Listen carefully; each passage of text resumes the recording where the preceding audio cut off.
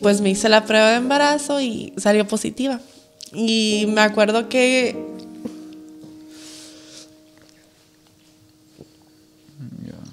It's okay.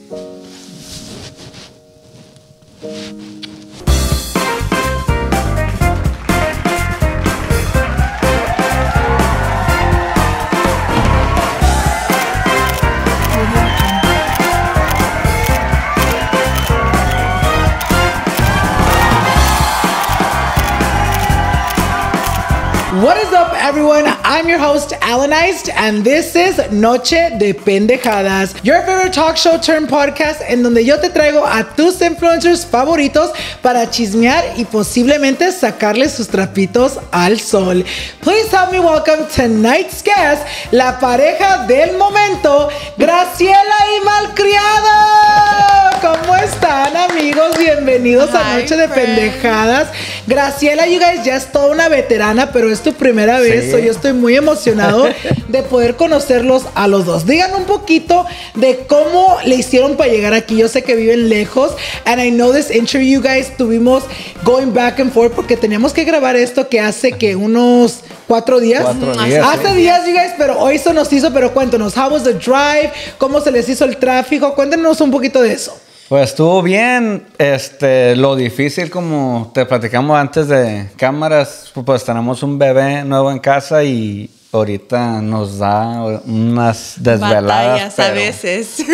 Y hoy fue un día de esos que nos tocó desvelarnos mucho, pero llegamos. Pero llegaron, llegaron. Sí, eso es lo bueno, ¿no? Yo le estaba diciendo a Graciela porque íbamos a grabar el sábado, pero yo me desmayé el Thursday y Graciela tenía también cosas que hacer el sábado. So cuando ella me dijo, no, como que los dos nos punimos como al tiro, como de que hoy nos sirve que hacerlo el lunes y aquí andamos. Yo conozco más a Graciela mucho antes que a ti, ¿verdad? Sabes que yo tenía como unos tal vez dos o tres meses de embarazo con Karim cuando yo te conocí en Annette's En her housewarming Yeah. party. You guys, that's crazy. Yo me acuerdo que en ese entonces todavía ni hablabas tú que estabas embarazada. Yeah. Y yo no estoy hablando de su recent pregnancy, you guys. Yo estoy hablando de tu embarazo de tu primer bebé. Sí. Y ya después de eso, you guys, me cayeron bien. te conocí a ti. Siguió la amistad y pues aquí los tuve, you guys. Hubo So, una conexión, me recuerdo desde un principio porque me dijiste que eras de Nayarit y yo, ¡ah!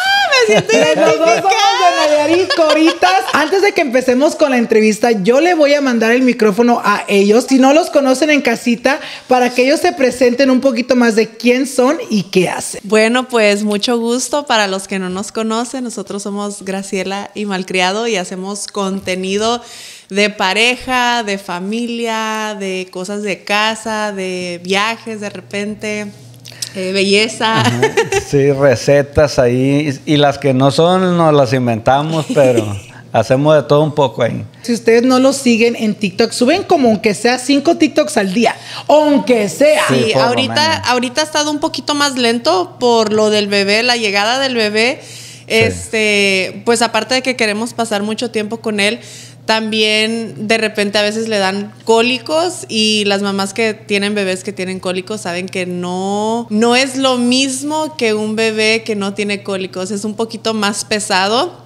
Entonces a veces cuando de repente sí tenemos tiempo libre, decimos, oh my God, nomás queremos pasar tiempo en pareja o nomás queremos O descansar, descansar, dormir. Entonces, pero antes que naciera el bebé sí estábamos subiendo como unos 15, 20 Yo pienso al que día. cinco era poquito, amiga. Yo nomás estaba tirando un número bajo, pero yo sé que sí estaban sube y sube muchos videos y como nos contaban, muchos de sus videos no nomás eran como dices de belleza, de una cosa, nos contaban de toda su vida y yo siento que es por esa razón que mucha gente empezó a seguirlos a los dos porque en verdad estaban muy entretenidos y muy como de que yo quiero saber más de Graciela y Malcriado y aunque yo ya tengo rato conociéndolos, yo también siento como que hoy voy a terminar esta entrevista conociéndolos un poquito más. Entonces vamos a empezar ya con el chisme, amiga. Ya vamos a ir directamente a lo que venimos. Yo quiero conocerlos un poquito más y con lo que voy a empezar hoy va a ser con la pregunta que le pregunto a todos de su infancia. ¿Cómo fue Graciela y Malcriado growing up? ¿Cómo fue su infancia? Cuéntenos. Mi infancia fue muy bonita. Este, yo creo que soy de los niños que tuvieron la oportunidad de disfrutar bien su niñez. Yo jugué carros, hasta carritos y todo. Hasta la edad creo que es muy necesaria. Pues en realidad me gusta mucho recordarlo, muchas veces lo traigo al tema, tú sabes porque yo era como el mandadero de ahí del, de la cuadra. Yo tenía una bicicletilla y me pintaba de la escuela, llegaba y me ponía de volada a hacer los mandados allá a los vecinos para agarrar la moneda y pues eso es un poquito de lo como que... la señora de las naranjas. Entonces tú ya desde chiquito empezabas ya a trabajar, ya tenías Sí. como esa mentalidad. Eh, Es que sabes algo, lo que pasa que en mi casa no había dinero, pues, o sea, vivíamos bien, pero no había para darnos de más. A mí me, yo recuerdo que a mí me daban 2.50, dos pesos con 50 centavos para ir a la escuela. Entonces cuando yo empecé a ver que pues o comía o jugaba fútbol porque haz de cuenta costaba 2.50 la bolsita de agua. Ajá. Entonces, si jugaba fútbol, tenía que tomar agua. Y si no jugaba fútbol, tenía que comer. Entonces, mm, balanceaba eso. Pero cuando empecé a agarrarle el rollo, a hacer mandados y todo ese rollo, dije, no, hombre, aquí, hay, aquí está la moneda. Y empecé a... Llegaba de la escuela y de volada iba con los vecinos, hey, las tortillas, comida, lo que fuera. Y me daban que la de cinco. Y ya para eso, ya llegaba a la escuela yo ya con... Ya comías bien, Sí, ya, ya that's con crazy. So, de chiquito empiezas tú pues a tener esta mentalidad de que pues quiero más. ¿Qué decían tus padres de eso? ¿Te miraban que en cuanto salías de la escuela y en chinga ya andabas trabaja y trabaja? ¿Qué, qué pensaban de eso? Sabes, mis papás nos inculcaron mucho a trabajar. Mi papá vendía madera y me acuerdo que llegaban camiones de madera y mi papá nos decía, hey, vénganse, vamos a ayudarnos. No nos ponía a hacer cosas pesadas, pero sí nos daba dinero y nos incentivaba. Sí, nunca en la casa fue como que te vamos a regalar algo, te lo tienes que ganar. Y, y así fue y gracias a Dios creo que eso ha influido para ser la persona que hoy en día soy. ¿Cuántos hermanos fueron? Porque si me acuerdo bien, tienes un cuate, ¿verdad? Sí, sí. ¿Cómo fue eso crecer con un hermano que pues casi igualito se la llevaban de edad? Pues fue. Pues sí, igual, de verdad. Sí, sí. Fue muy divertido. eh, éramos bien peleoneros, la verdad. Cuando no peleábamos con alguien en la escuela, peleábamos entre yo y él. Pero la cosa que nos decían tres en uno, de hecho, de ahí viene el que me digan malcriado, pues porque decían pinches chiquillos malcriados y que quién sabe qué. Entonces, de ahí. ¿Sabes qué está chistoso? Te iba a preguntar, ¿de dónde salió ese nombre? ¿Apenas lo sacaste o ya de todavía? O de toda la vida ya te lo tenías ese nombre, ya se Sí, te había es pegado. como algo que pues nos decían en, en la casa. Me acuerdo que mis papás nos llevaban a la ciudad, pero a mí no me gustaba ir a la ciudad. A mí, yo, yo puedo decir que me crié en un rancho de Jalisco que se llama El Terrero y pues a mí mis hermanos iban de vacaciones para Uruapan, yo soy de Michoacán y a mí me gustaba irme para el rancho porque pues no sé, a mí siempre me gustó ese rollo de andar pues allá en el rancho y, y ahí fue donde yo me crié y Y pues mi niñez mía fue no similar. Siento que veni- venimos de raíces muy similares. A mí también cuando estaba chiquita eh, crecí mirando pues a mi mamá trabajar. Mucha gente sabe que mi mamá fue troquera por 38 años. Entonces pues yo siempre la miraba para arriba y para abajo. Mi mamá lo que hacía, ella tenía una ruta en la cual recogía desperdicio como pan, nixtamal, eh, manteca, tortillas, de todo. Entonces yo le ayudaba a mi mamá y pues ya fue como fue como que un ambiente muy trabajador fue lo que yo miré creciendo y también pues de chiquita mi mamá cuando trabajaba con esas compañías ella trabajaba como con Entenmann's, Bimbo y todo eso. Y había muchas veces que mi mamá le regalaban pan bueno o sea pan que tenía buena fecha que no estaba caducado porque el pan que ella recogía era pan que utilizaban para hacer pastura de animal. Entonces, cuando a mi mamá le regalaban pan bueno, yo agarraba ese pan y me iba puerta por puerta vendiéndolo a, a dólar. Sí. So, tú ya de chiquita también tenías esa mentalidad de sacar Sí, más. Recuerdo una de esas veces, eh, mi mamá se había ido, cuando de recién empecé, mi mamá se había ido a México y yo me había quedado y me acuerdo que pues no teníamos dinero. Entonces, bien me acuerdo, yo agarré una caja de Entenmann's de donas y estaba caducado. Fui puerta por puerta vendiendo cada dona a Cora y la, la caja traía ocho, entonces, o sea, ya sacaba mis dos dólares, dólares, de cada, sí, sí. de cada cajita, entonces son Para anécdotas. el raspado, para que, que Sí, para el. Cuando el raspado valía un dólar, ahorita los raspados. ya venden día- como a 3, 4 dólares. No, hombre, el otro día Hasta le dije, babe, me haya quedado sin raspado. ¿A like cuánto nine está? dollars, nueve dólares. ¿Nueve dólares un raspado? Pues qué, van a la nieve y agarran el hielo, qué pedo. Ya dije, se me "Tien- quitó el antojo". Yo creo, dije, ¿están cortando la fruta de ahí de la planta o no? Pienso que sí, porque Pero- nueve dólares se me suena mucho dinero. Es la inflación, la verdad yo pienso que esta economía en vez de mejorar ha empeorado muchísimo y, y los precios de todo, Todo la subió leche, mucho. el gas, Todo, todo. hasta Todo. por pinche respirar aire, amiga, te quieren cobrar ya hoy en día. So, obviamente tú nos cuentas de que tu mamá trabajaba mucho y yo sé que en ese tipo de trabajo suele que pues la persona que trabaja en eso no está mucho en casa, ¿verdad? Porque pues andan que acá, que llevando a este lugar, viaje y viaje y viaje. ¿Crees tú que eso te afectó mucho a ti creciendo, la y no tener a tu mamá todos los días contigo? ¿Sabes qué? Honestamente, creo que sí, pero estoy muy agradecida con mi mamá y siento que lo comprendo más ahora de grande. Porque ahora que yo soy mamá, yo también trabajo. Ahorita no está tan pesado el trabajo, pero en un tiempo cuando nomás éramos yo y él y no teníamos nuestro equipo de trabajo, se nos hacía demasiado, demasiado pesado y yo no le dedicaba el tiempo suficiente a mi oso. Ya.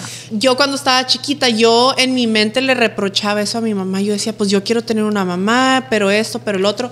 Pero, o sea, ¿quién iba a trabajar si no mi mamá? Ya. Y pues nosotros trabajamos los dos mutuamente, nos apoyamos los dos. Ahorita pues ya tengo más tiempo con los niños, pero antes se me complicaba un poquito más y yo, des- yo decía, oh my God, espero y mis hijos pues no me lo vayan a reprochar, pero ahora ya de grande comprendo que pues alguien tiene que traer la comida a la casa. Entonces yo estoy muy agradecida con mi mamá y ahora comprendo pues porque mi mamá también fue mamá soltera. y- ¿Cómo te afectó eso? Como tener nomás a tu mamá en tu vida. ¿Crees que eso te afectó más el no tener a tu papá que tu mamá trabajar mucho? Me hizo mucha falta mi papá, mucha falta, pero por una cosa u otra, mm, desde que yo recuerdo siempre hemos tenido una familia muy desbalanceada.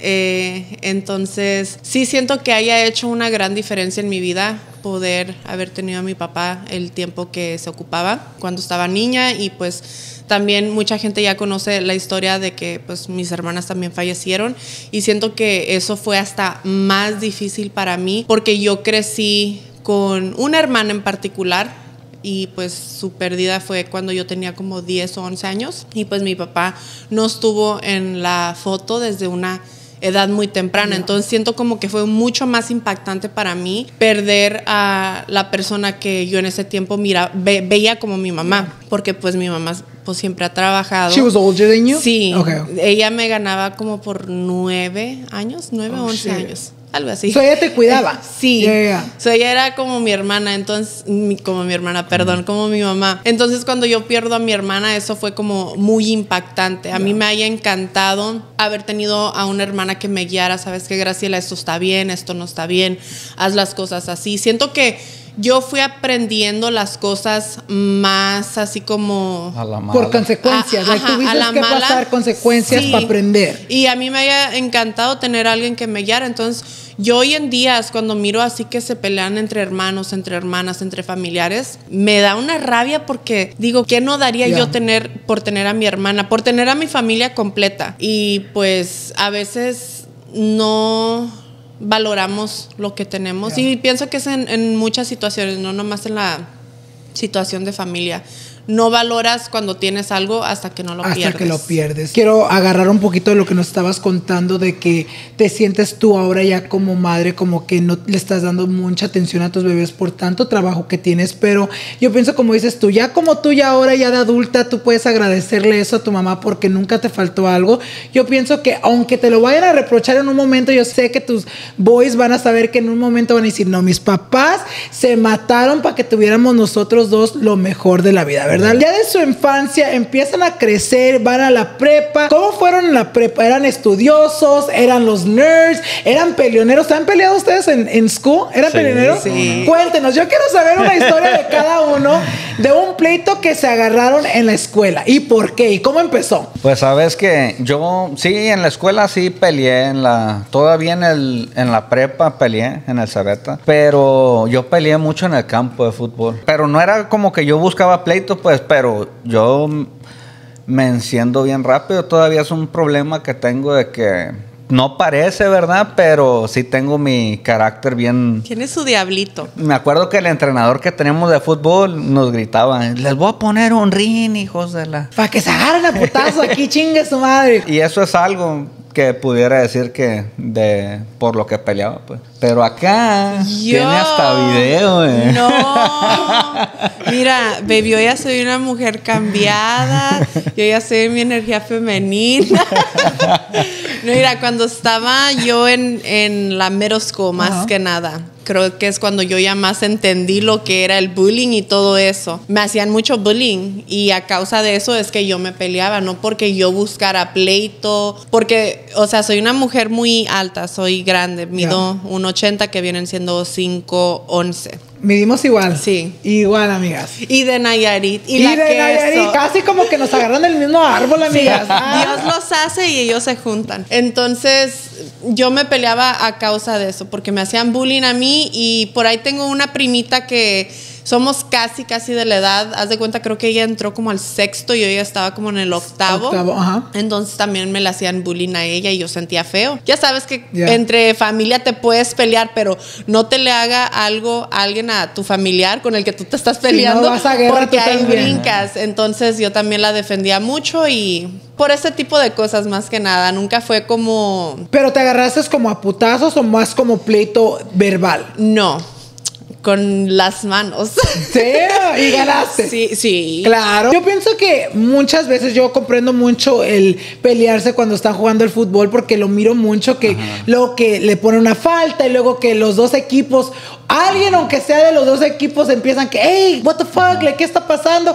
Y empieza la pleito también contigo, obviamente comprendo mucho el querer pelear cuando miras que una injusticia. En ese momento, pues el bullying que te estaban haciendo, no nomás a ti, pero a tu prima, ¿verdad? Hablamos un poco de su infancia y yo quiero saber si ustedes se recuerdan de un momento o si tienen un momento donde ustedes pueden decir, ¿saben que este momento me afectó toda mi vida and has contributed a la persona que soy ahora? Pues yo pienso que un tiempo que anduve vendiendo aguacates por ahí, por la, en donde yo soy no se da ni un aguacate, pero unos vecinos creo que llevaron aguacates y anduve ahí en unas carretillas vendiendo, pero le empecé a agarrar la onda porque a mí me decían, oh, véndelo a tanto, como tres aguacates, no recuerdo bien por cuánta, cuánto dinero pero me acuerdo que le empecé a subir el precio yo. Dije, ah, y le dije, oiga, creo que esa era Doña Rosa. Le dije, oiga, si yo los vendo a tanto, mm, si te los dan, pues te lo dejas para ti. Y así, ajá, y así empecé. Y me iba, hombre, yo quería traer árboles para vender y también papayas. Fíjate que no me acordaba de eso, ahorita me, me vino el. tú siempre has tenido como una mentalidad como de negocio. Sí, como me ha gustado mucho eso siempre. Y eso ya obviamente ha cruzado a tu vida actual porque. Sí, y sabes que mucho, yo creo que mucha gente no se anima como a emprender o a invertir por miedo. Mucha gente no crece, no crea, no se crea oportunidades por el miedo de que si pasa esto, pero como yo lo veo, la verdad, mi punto de vista de como yo veo las cosas es muy amplio porque digo, pues sé que para como estaba la cosa, trabajando alguien no puede regresar para allá. Entonces yo digo, mientras Dios me dé vida, salud, pues aunque esté duro el golpe, la caída, pues nos levantamos. Y yo pienso que cuando haces un riesgo así, es la diferencia de que you make it or not. You know, porque hay mucha gente que siempre dice, ay, yo quiero hacer esto, hacer esto, otro, pero no quiero arriesgarme, no quiero poner, como se dice, todos mis huevos en una basket, pero a veces tienes que, para ver success. You know, hay muchas veces que miramos de que, oh, yo tuve que dejar todo esto para poder ser la persona que soy, y a veces es una cosa que mucha gente no toma en cuenta. ¿A ti que sientes que fue un momento a ti que te cambió toda la vida y afectó a la persona que eres hoy? Mira, yo pienso que fue algo muy positivo y creo que lo platicamos en el podcast pasado de que yo había ganado un caso en el cual me dieron bastante dinero y con ese dinero yo pude viajar el mundo. Y siento como que eso me abrió mucho mi mentalidad, me abrió mucho los ojos, me dio a entender que había muchas más oportunidades afuera en el mundo que las que se me presentaban en ese momento, porque a mí en mi tiempo de infan, no infancia, ¿cómo se le llama esa etapa como de, no sé, 12 a 16 años? Me gustaba mucho la cholada. Yo soy de las que te escuchaba MC Magic, Magic. Miss Sancha. ¡Ah! Entonces yo estaba mucho como mi mentalidad era muy que the hood, the hood. Me llamaba la atención, o sea, yo en mi ¿cómo se dice? En mi inmadurez, no inmadurez, en mi inocencia. Sí. Yo decía, pues es lo que hay, así es la vida y así la voy a vivir. Pues es lo que yo miraba, lo que había a mi, a A mi alrededor. Sí, o sea, pensabas en Los Ángeles y, ok, Los Ángeles, pues allá también hay cholos. Pensabas en otro lugar, ah, pues también hay cholos. Eso es lo que me queda hacer a mí, Sí, o sea, no es que yo quería ser chola, pero me gustaba como el estilo de vida. En ese momento te digo, en mi, en, o sea, en mi cabeza era lo único que existía.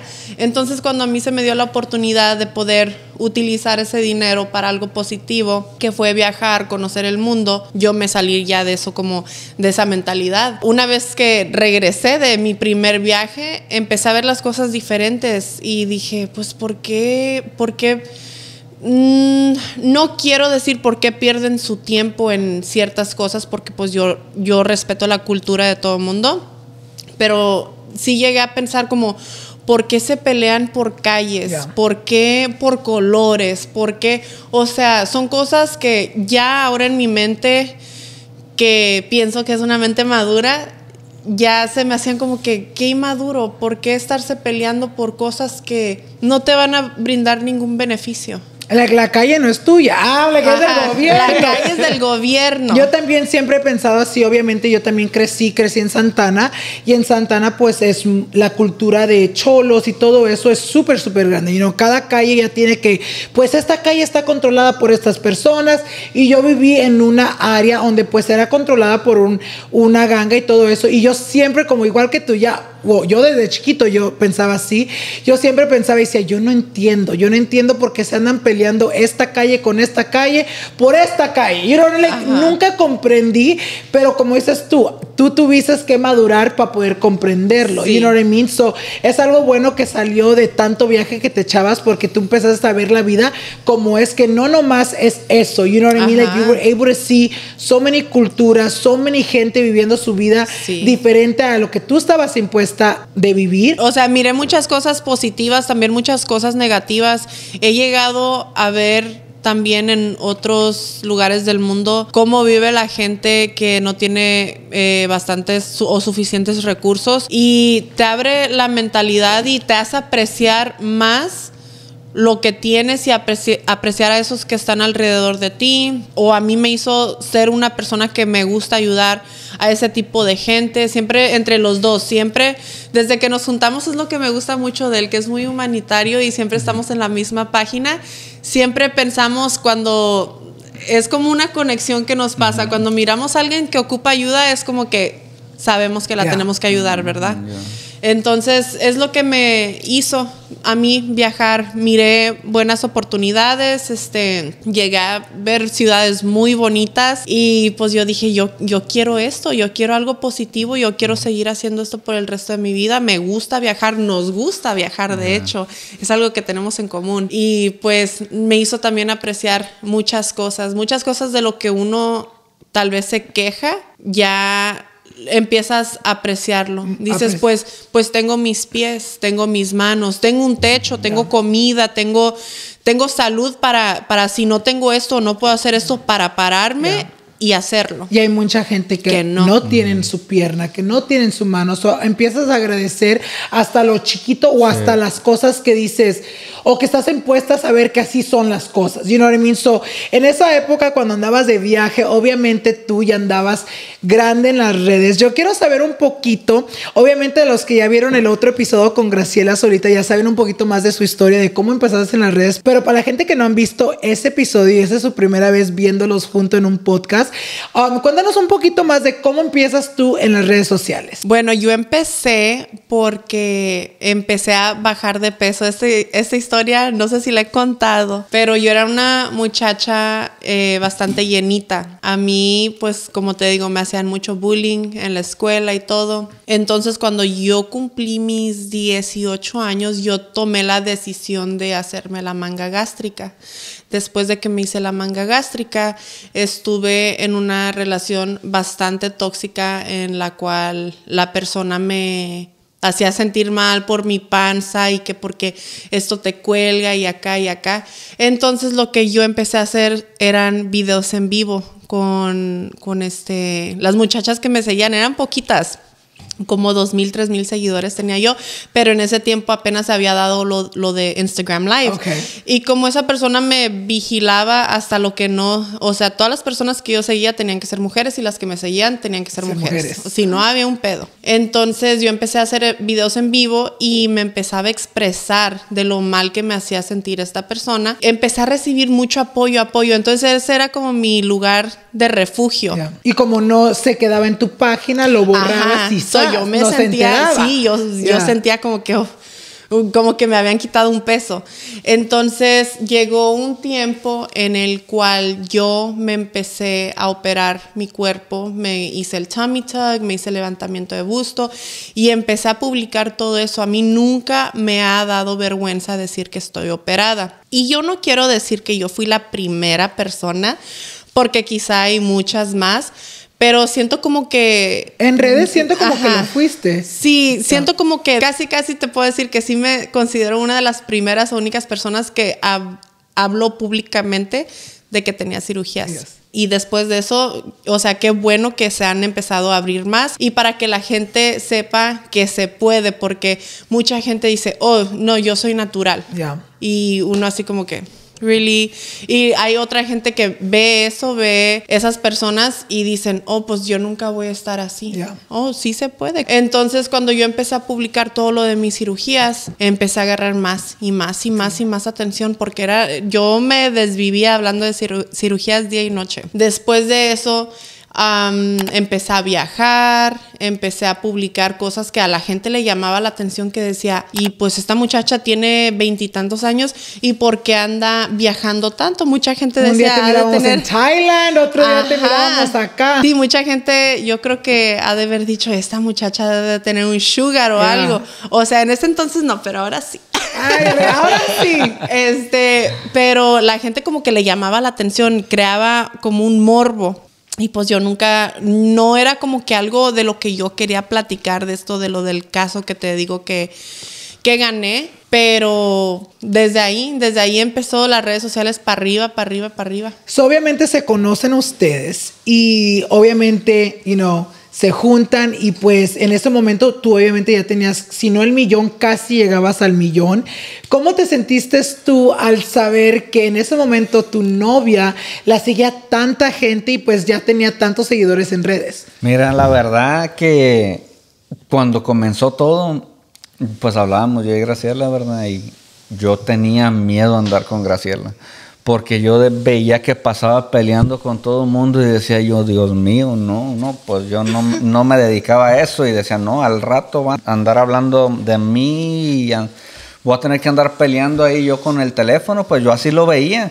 Me acuerdo que a mí cuando las primeras pláticas que tuvimos me dijo, oh, mira, que se puede hacer esto aquí, que me dan tanto y yo decía, no, hombre, pues está bien, o qué bueno, si se lo dan el dinero, pues ya empezaba a cobrar como publicidad y todo ese rollo. Pero yo lo veía como un como no me creía. Ya, yo... está inventada que le están pagando para esto. Es como algo que uno no se capta. Ya, si no vives en, este rollo, no sabes lo que se genera. Entonces, yo así decía, ah, pues está bien, le decía que bueno, yo le seguí el rollo, pero fue un proceso para que nosotros anduviéramos. Sí, él no quería andar conmigo de un principio. Fue, fue una. O sea, sí me gustaba, pero. Hasta cierto punto. Lo que no me gustaba era eso. Le pues, pensabas, decía, no, me gusta, pero me gusta tanto para llevarme todo lo que viene con ella. Sabes, hasta ahora que estamos casados y desde que empezamos a vivir juntos, pues ya son varios años. Pero él antes me decía, ¿por qué peleas tanto con la gente? Y le decía, es que me dicen esto, me hacen esto, cosas que realmente te dan coraje. Que ahorita, como les digo, yo ya soy una mujer cambiada, ya no hago eso.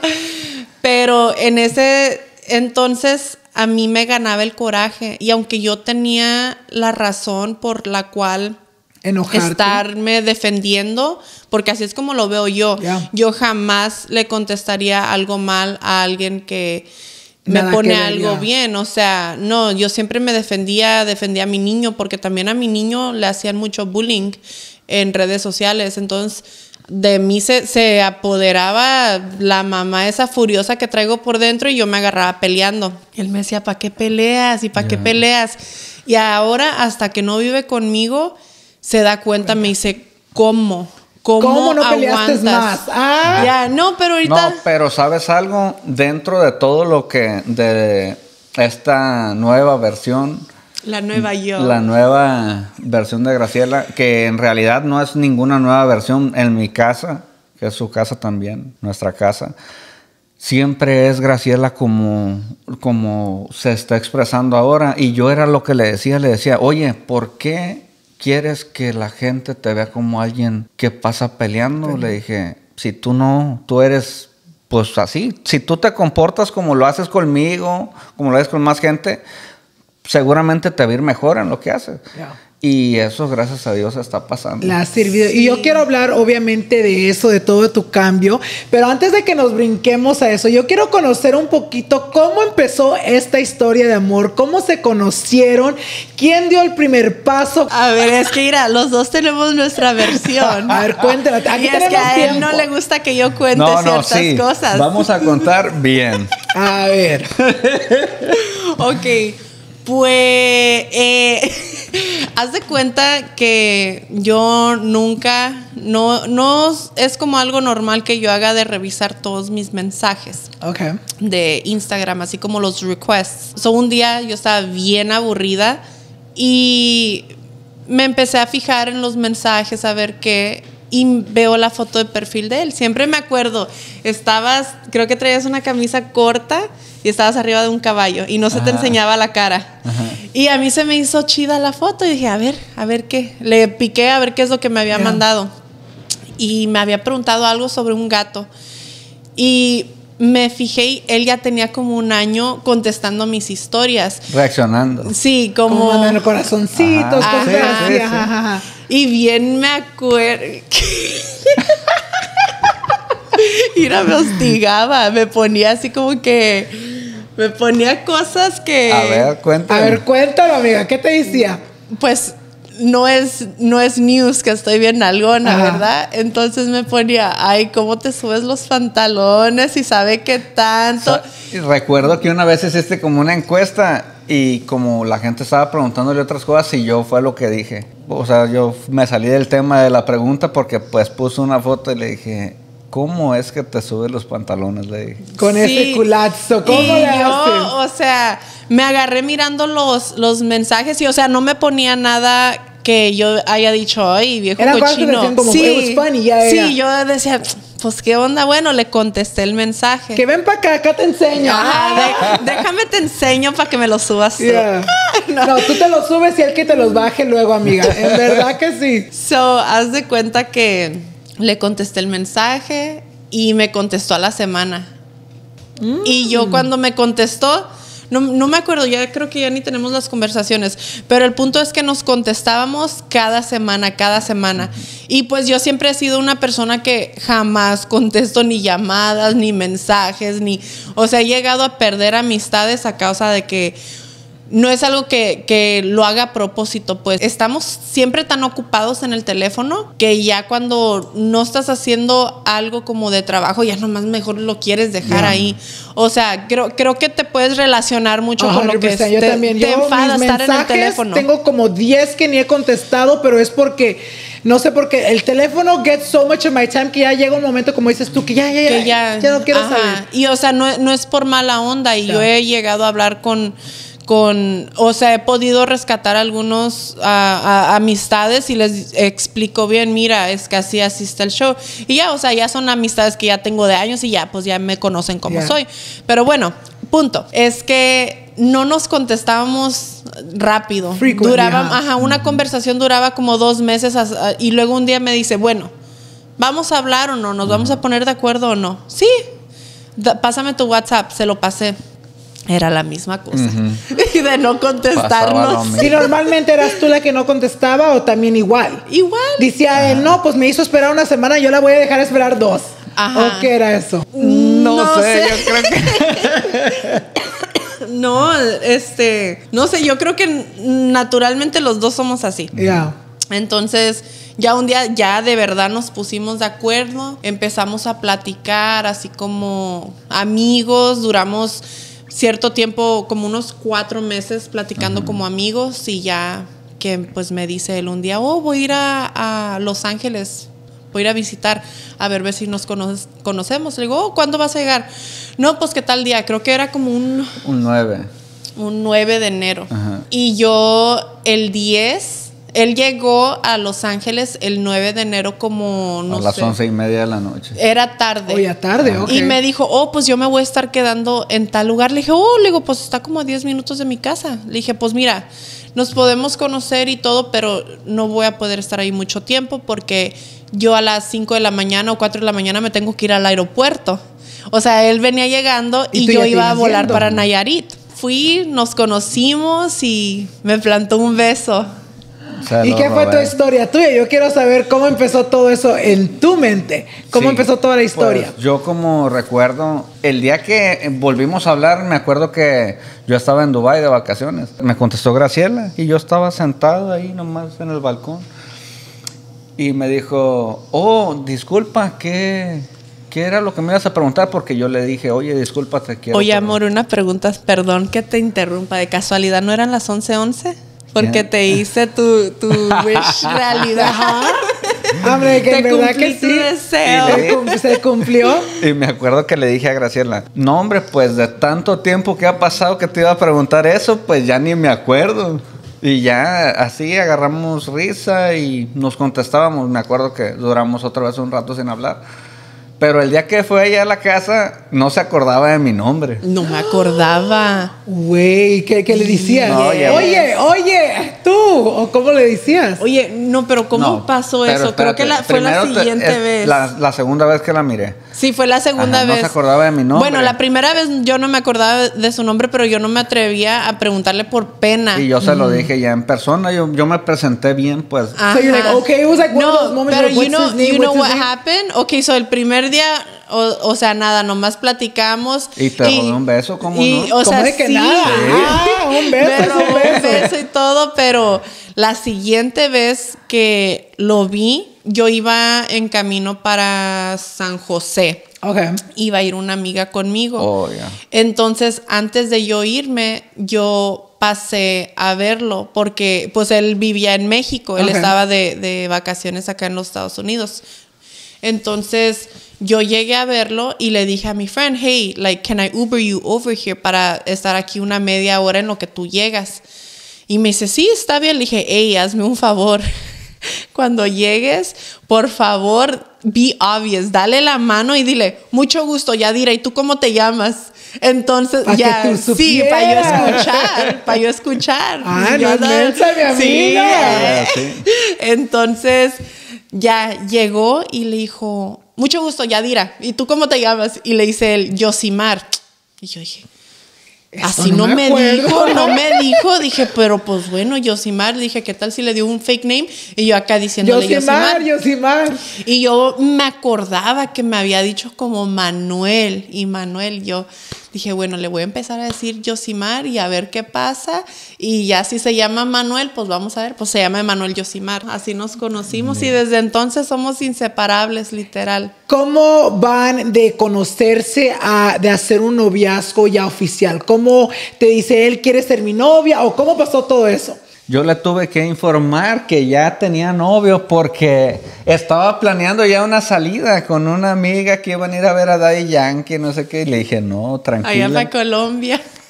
Digo, Le dije, "No". me voy a ir a Colombia, voy a ir ah, con una amiga, vamos a ir a un concierto, se va a ir a operar. Y me dijo, ¿y con permiso de quién? Y yo me reí. Le dije, pues qué, le digo, ni que fueras mi novio o algo así. Y me dice, pues sí lo, he- dice, Pues sí ¿cómo lo dije? soy. Sí, algo así. Le dije, pues ni que fuera tu vieja o algo así. Y me dijo, pues sí lo eres. Y yo me agarré riendo, pero acá como con dijo, nervios. ¿desde dije, cuándo? ¿Desde, ¿Desde cuándo? ahorita? Desde ahorita yo. Eh, Antes de que te vayas a Colombia. Sí. Pasó así, se hicieron novios y en un momento obviamente empieza la plática de que se quieren casar. Yo sé, yo conozco su historia. Para la gente que no conoce un poquito de su historia, ¿cómo pasó todo eso? ¿Cómo van de novios a querer casarse, güey? Porque es, un brinco que se da grande. Lo que está más este, loco, por así decirlo, es cómo pasó. Hicimos un plan para casarnos y todo el rollo bien normal, como cualquier persona que lleva unas intenciones más a futuro lo hace. Así fue que lo hice yo. Y le dije yo a Graciela, ¿sabes qué, mija? Pues para esta fecha yo pienso que está bien porque mi intención era pues no pagar renta, pues mi intención era que compráramos una casa y estar ya bien, tener las cosas que se ocupan para poder vivir con alguien y entonces ya de- decirle, "Ey, ¿sabes qué, mija? Pues ya vamos a Ya vivir es tiempo juntos. de vivir y casarnos Vámonos. y todo. Pero un día Pasó que yo me estaba haciendo mi pelo, estábamos, bueno, yo estaba en un salón, él estaba trabajando y me manda mensaje y me dice, oye, eh, ¿no quieres ir conmigo a Utah por mi hermano? Y yo pues le digo, sí, ¿cuándo? Me dice, ahorita. Y yo me quedé así como que, ahorita. Y dice, sí. Le digo, bueno, déjame termino de pintar el pelo y paso por ti y nos vamos. Bueno, pasó así, pasó por él, nos fuimos hasta Utah. Fue Es- cuando... estaba cuando lo del- nevando, me acuerdo. Sí, fue cuando lo del COVID. Ok. iba, a Entonces- iniciar, iba iniciando todo eso. Sí, estaba iniciando do- lo del COVID. Entonces lo que mi cuñado quería hacer era venir, no me acuerdo por- Ya cuál ni fue el- me acuerdo Oye, ¿cuál fue la estaba. razón que fuimos por él? Porque había pasado un temblor o algo así, ¿no? Oh, sí. O, eh, él- bueno, mi cuñado no le gustan los aviones, punto. so fuimos por él. Entonces, de regreso, nosotros ya teníamos el plan ese de casarnos, pero a un futuro.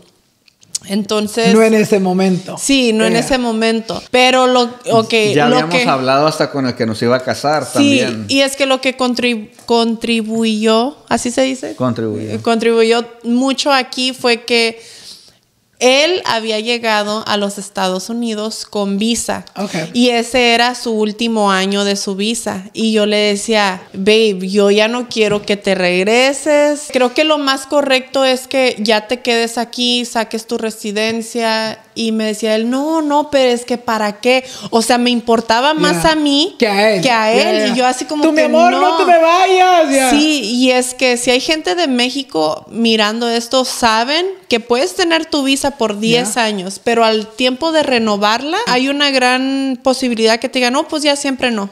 Entonces a mí me daba miedo eso. Dije, ¿cómo acabo de encontrar el amor de mi vida y arriesgarme a que pase algo así? Entonces yo le metía presión y le decía, oye, y esto y el otro. Y me decía, sí, pero hay que esperarnos a agosto. Nosotros nos íbamos a casar como en agosto, septiembre. O sea, ya tenían fecha y todo. Sí, ya teníamos Ya, más o fecha. menos en esa hasta fecha. que él no este, tuviera los fondos suficientes para agarrar una casa. Ya. Él no quería vivir en, en un departamento, él no quería pagar renta. Sí, just casa. into a house. Y pues yo, yo soy más careless. Yo, ah, pues Como, vámonos ¿cómo a vivir abajo de un árbol. Yo te acompaño. No Yo- te preocupes. O sea, yo, lo- yo te sigo donde tú, Tú bien quieras. como no la averiguamos. Sí, te no, la averiguamos. ya. Y él no, él, él siempre ha sido más que no. Tenemos que seguir un plan. Y yo, yo soy más descuidada. Pero bueno, veníamos de Utah y, mira, it was so funny porque antes de casarnos casi, casi andábamos Sí. tronando. O sea, te hablo de, de una hora antes de casarnos, ya íbamos a dejar el noviazgo. Sí. ¿Y cómo fue eso? Obviamente. Es que- What made you guys go through? ¿Qué- cómo, cómo pasó eso? Ok, veníamos de Utah y me mandó mensaje el señor que nos iba a casar.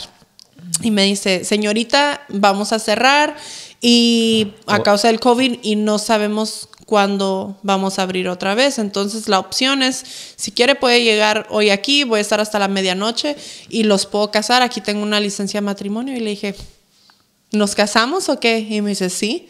Y ahí traes tu identificación, sí, yo, yo también. Y llevamos el testigo. Ajá, a mi a cuñado. So, lo que pasó fue que a- en este punto nuestra relación era bien tóxica, o Sí. sea, Nivel Dios. nivel, o sea, era demasiado. Pero haz de cuenta que mi cuñado iba manejando y mi esposo iba de copiloto.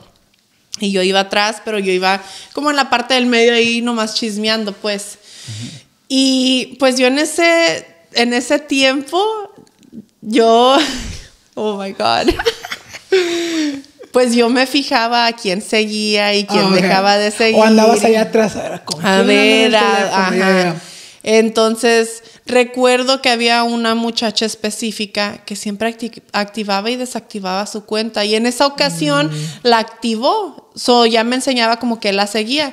Entonces, yo no por tóxica, no por, oh, ¿quién, quién es esta vieja? No.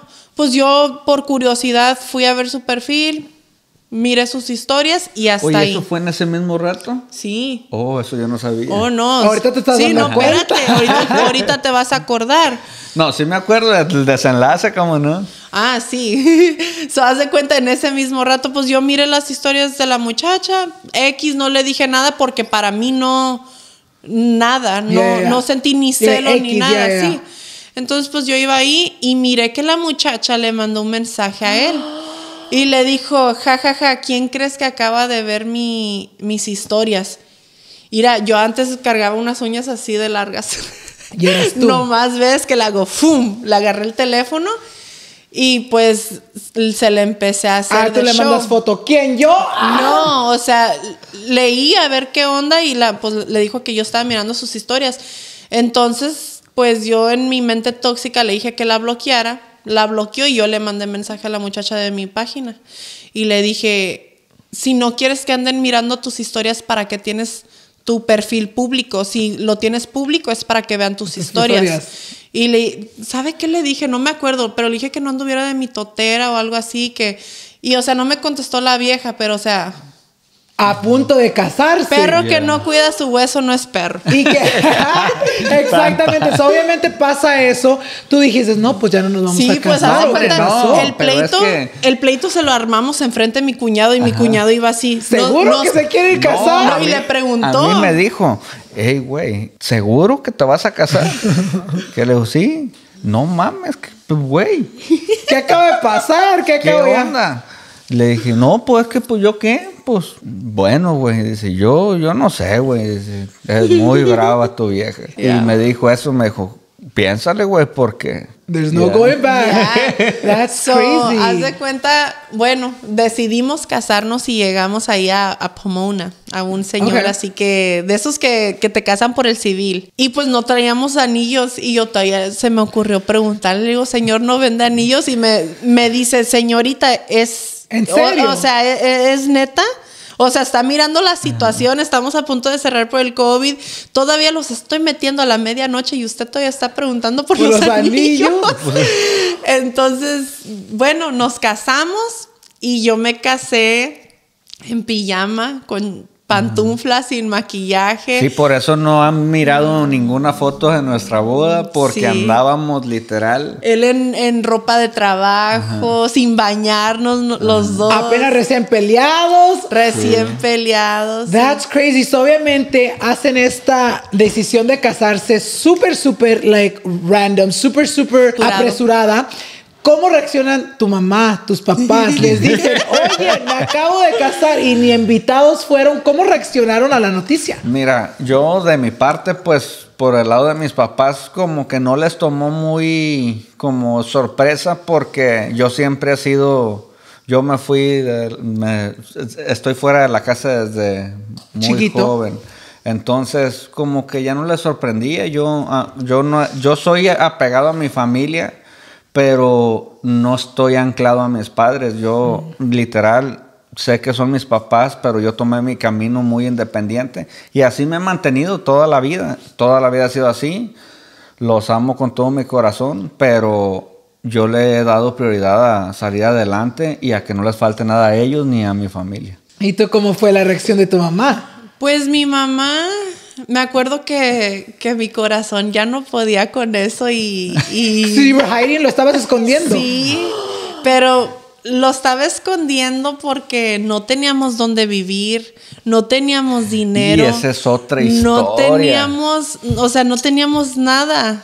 ¿Qué es lo que teníamos? Mi camioneta y un amor. Y el parque. Grande y, el, y el parque. el parque. O sea, no, no teníamos nada. Entonces, yo tenía como miedo decirle a mi mamá porque me fuera a decir, ¿qué hiciste? Y, y no tienes esto y no tienes el otro. Pues yo pienso que cada mamá quiere lo mejor para sus hijos. Entonces, no sé, un día mi corazón ya no lo podía sostener y le dije, pues, digo, te tengo que decir algo. Y, oh, ¿qué pasó?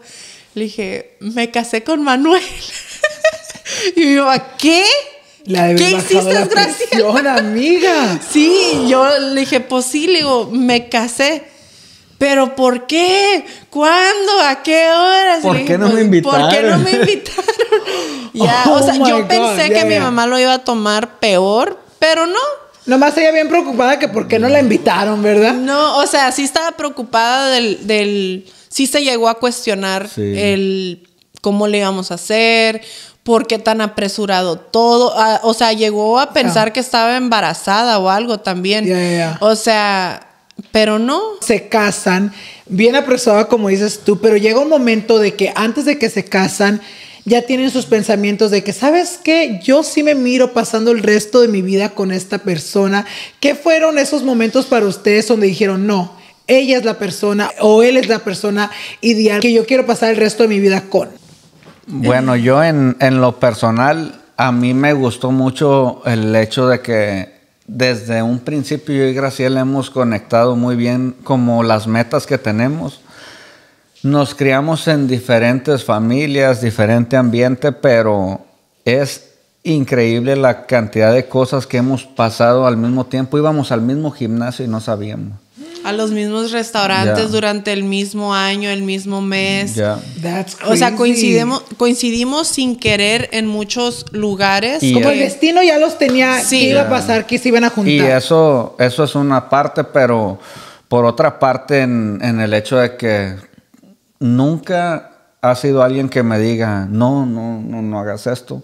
Nomás me dice, sí, sí, sí, para adelante. Pues no, es, no ha sido como, tú sabes que hoy en día hay muchos, tanto hombres como mujeres que quieren crecer, pero no tienen el apoyo de su pareja. Y igual yo, yo, le, yo siempre, mientras sea para sumar, yo le digo, dale. De hecho, hasta en algunas veces se ha incomodado porque yo meto presión para hacer. Yo no me gusta que las cosas se queden en plática. A mí me gusta hacerlas y a, y a Graciela a veces como que le... Porque me, a mí me gusta hacerlas de ya, pues rápido. Pero esa parte de Graciela es la que me gusta, pues que ella... Estamos en el mismo canal, pues y... Por ejemplo, el de... El plan... Terminamos rentando un departamento y el plan fue no vivir más de un año ahí. Y así fue, gracias a Dios. Yo el momento que pienso que yo dije, este es, esta es la persona con la que yo quiero estar. Obviamente desde un principio yo me enamoré de él, pero pienso que después de que tomamos terapia en pareja y resolvimos las diferencias que teníamos.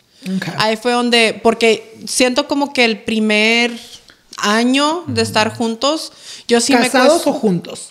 Juntos en general. Ok, ok. Sí, siento como que yo me cuestioné muchas cosas, peleábamos mucho, este, nunca era como un momento en paz, a veces eh, peleábamos un día sí, un día no, o a veces si íbamos dos, tres días sin pelear, ya era como que, Too wow, much, ¿qué, like- qué está pasando? Que empezaron un pleito Y, aquí. y- eh, y sabes que creo yo que influyó mucho el hecho de que Graciela había tenido unas relaciones súper tóxicas anteriores. Ya. Y como yo le platicaba, le decía, es que ¿para qué peleamos? ¿Para qué peleas? ¿Por, por Para qué mí era esto?" algo muy normal. Para ella era normal. De hecho, yo le decía, hey, pues es que en mi casa yo nunca vi pues golpes, pleitos. En mi casa, gracias a Dios, fue un ambiente muy, muy familiar.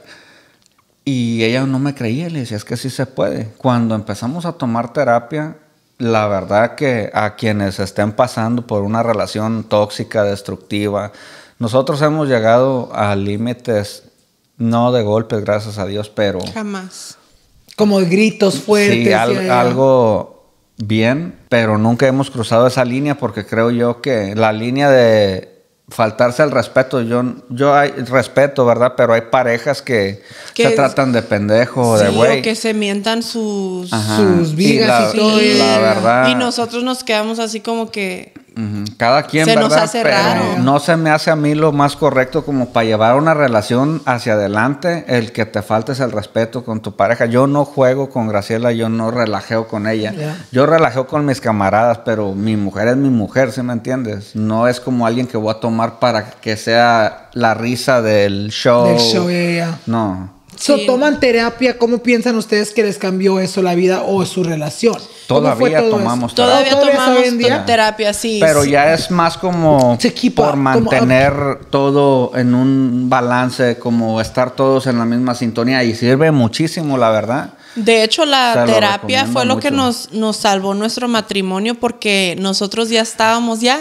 Ya. O sea, cada quien se iba a ir por su lado y tomamos la fuerte decisión de tomar terapia y te digo fuerte porque la terapia no es nada fácil. Dices, mira, mucha gente piensa que, oh, no, terapia es para la gente loca. No, también es para la que no. O sea, la terapia ayuda a todo mundo.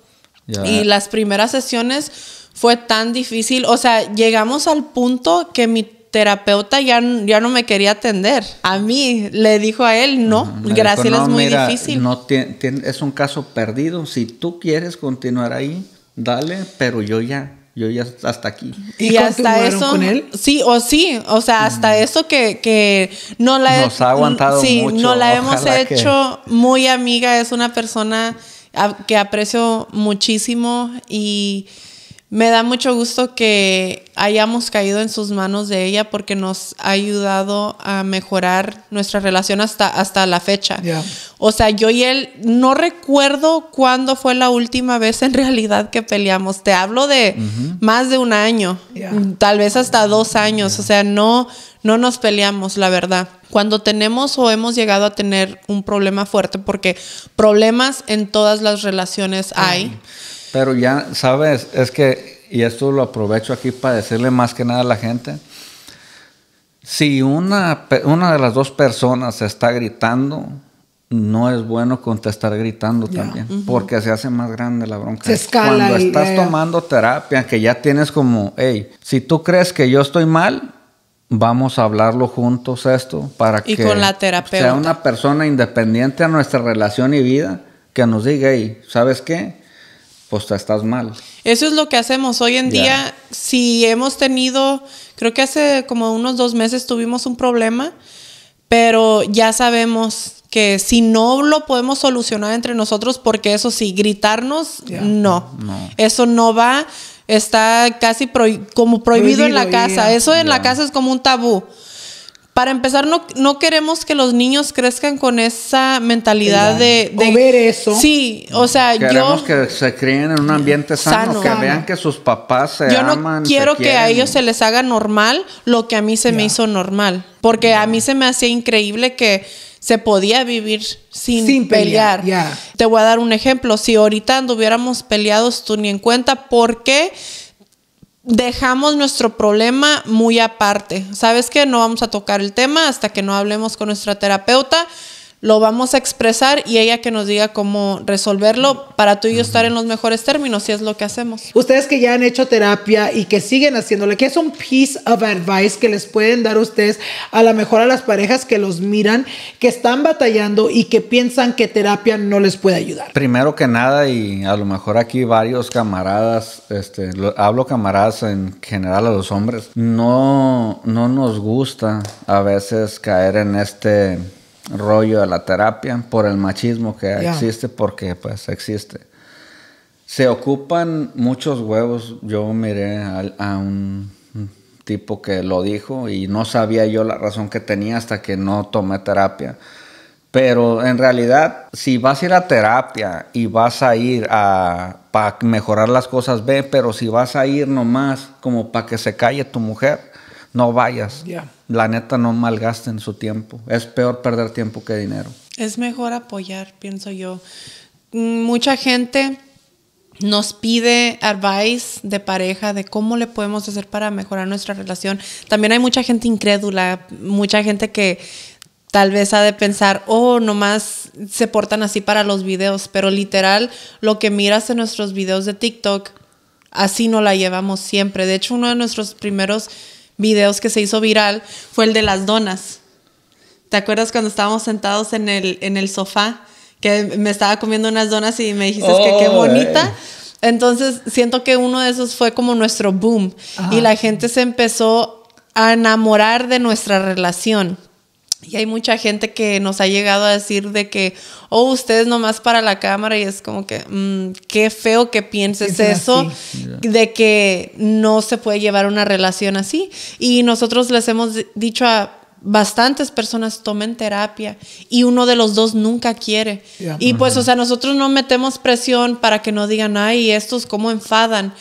Pero es lo mejor que puedes hacer, la verdad. Yo me siento una persona ahorita mentalmente muy saludable, muy en paz, muy satisfecha con mi vida. Fluyen más las cosas, te va mejor. Se siente bonito cuando no estás peleando, cuando literal nomás puedes disfrutar de la compañía de tu pareja sin tener pensamientos negativos, pensamientos tóxicos. eh, Vivimos como y- novios muchas Sí. veces del día. Y confiam- tenemos muchísima confianza entre nosotros. Es muy difícil cuando una de la pareja no quiere hacer terapia. ¿Fue difícil para ustedes hacer ese acuerdo de que los dos querían ir a terapia o hubo en un momento donde uno sí quería y el otro no? No, hombre, cuando tomamos terapia, o sea, fue literalmente porque ya... Ya, Ya, se nos había- íbamos a dejar. Ya nos Ya, íbamos a dejar. ya. Eso era como su last, Ya, su sí, final. Por no Sí. decir lo que ya nos habíamos dejado. O sea, ya estábamos, ya habíamos roto nuestra relación. Ya. Y me costó a mí mucho bajar mi, me atrevo a decir, mi energía masculina, porque de ahí viene mucho de lo que, los cambios que he hecho. Me tomó mucho bajar vulgarmente lo voy a decir, bajarle de huevos. La verdad. Porque yo era muy, muy tóxica con él. O sea, mis razones he de tener, pero son razones que ya cuando estás cierto tiempo en una relación dices, ya, let it go. Y no, no vale la pena. Yo soy como un martillo. Yo pudo, pudo haber pasado dentro de las primeras 24 horas que nos conocemos y yo le seguía dando. Entonces para mí fue muy difícil como bajar mi guardia y, y no ser tan masculina. Yeah. Or in y, y aceptar, yeah. ajá, try to be in control y aceptar que yo tenía un problema de celos o y de... también de ansiedad. Ajá. Es que, ¿sabes Yo sufro algo? mucho de ansiedad. Cuando nos juntamos con Graciela, pues no es lo mismo platicar con alguien, con tu novia, que vivir juntos. Ya. Ya viviendo juntos es otro rollo más intenso. Entonces, yo en mi familia hay personas que tienen problemas de nerviosismo y ansiedad. Entonces yo, pues, todo lo que pasó Graciela es lógico que es una persona que ocupó todo el tiempo terapia, pero pues es- se negaba el, el hecho de que quería controlar todo, quería tener la razón en todo y le decía yo, no, pues que Y no. eso es lo que a mí se me hacía difícil. Sí quería tomar terapia, pero quería que me dieran la razón. La razón. Y cuando me frustraba, yo en las terapias me quedaba callada o ya no asistía a la terapia hasta que no sentía como que, oh my God, ocupo la ayuda otra vez, volvía. Era siempre como un desbalance hasta que yo no pude balancear mis hormonas porque tuve que tomar medi- medicamento también. Eh, ah, hubo un medicamento, como era como para un líquido de la cabeza, no me acuerdo, como para no estar teniendo eh, pensamientos negativos. Fluoxetina. Fluoxetina se Es, llama. es un medicamento natural, o sea, no requiere receta médica, pero es como un ingrediente químico que le falta al cerebro y que te ayuda a que elimines todos esos tipos de pensamientos negativos, depresivos. Porque de ya, es, es a lo que iba también, que llegué a tener muchísima depresión y eso no me permitía como que estar en, en un ambiente estable o saludable. Entonces me, creo que más que nada porque él es muy comprensivo. Yo soy más hard-headed. Yo, yo no, yo soy como, como- ¿cómo se llama? My Gabino. Barrera. Yo no, entre- yo no entendía razones. Yo estoy muy agradecida con él porque siempre me tuvo la paciencia que se requiere porque yo no te, yo, yo mi persona, era así, tengo la paciencia. O sea, like thin like my hair. Yeah. Y él no, él al contrario, él siempre me ha tenido toda la paciencia del mundo y yo estoy muy agradecida con eso porque siento que si él no me haya tenido esa paciencia, no hayamos podido sobresalir los problemas que tuvimos. Ahorita obviamente los miramos súper, súper feliz. Hace dos meses nace su bebé, pero antes de que pasara esto, ustedes pasaron por algo súper, súper fuerte. ¿Nos pueden platicar un poquito más de eso? Sí, so, yo salí embarazada antes de mi Dorito el año pasado y nos dimos cuenta, bueno, me di cuenta yo, un día antes de volar a Puerto Vallarta. Entonces me acuerdo que yo estaba empacando y mi, mi pregunta, o sea, siento como que todas las mujeres se pueden relacionar de qué, qué calzón me llevo, me llevo pads o no, o sea, decía yo, pues me va a bajar o no me va a bajar, porque estábamos activamente intentando tener un bebé. Y ya meses antes yo ya me había tomado pruebas de embarazos y me salían negativas. Entonces yo dije, bueno, me voy a tomar una prueba de embarazo para ver si empaco pads o no. O no, ajá. O sea, para para nomás confirmar. para confirmar. Ajá. ¿Mande? ¿No te había bajado anteriormente antes de que se fueran? Sí, o sea, sí, pero como un mes antes, pues. O sea, pero ya, ya, Ya estaban, eran las el- fechas ya, ya eran las que fechas que- que... me tenía que bajar. Entonces, pues, yo dije, ¿sabes qué? Pues no está en casa, déjame hago una prueba de embarazo. Y pues me hice la prueba de embarazo y salió positiva. Y me acuerdo que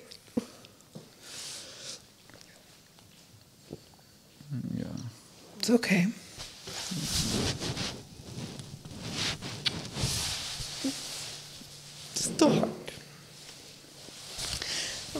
Me acuerdo que lo primero que hice fue le mandé mensaje a mi cuñado. It still hurts. Y le dije que lo quería sorprender porque pues era algo que queríamos mutuamente y lo estábamos esperando por mucho tiempo. Y les enseñé la prueba de embarazo a mi cuñado y a mi cuñada. Y se sacaron de onda, estaban bien contentos. Solo le dije, cuñado, hágame un favor and call my man to your house. Dile que, que es urgente, que tenemos que ir ahorita. Y yo les voy a pasar la prueba de embarazo a ustedes. Y dice, sí, sí, sí, solo le marcó a él y le dijo, hey, güey, te tienes que venir ahorita, algo está pasando, cáele con Graciela. Y me dijo, vámonos, vámonos, algo está pasando.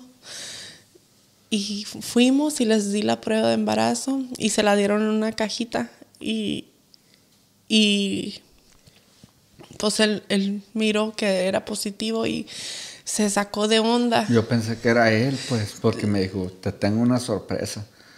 Se dijo, Y no, le dijo, ¿cómo? ¿A poco? Y mi cuñado le dijo, sí, pero tú. Y, o sea, fue un, fue un momento muy bonito y soy muy agradecida con Dios por haberme dado mi angelito el- el- las semanas, porque en realidad tenía semanas, como ocho semanas, eh, de habernos dado ese momento tan bonito.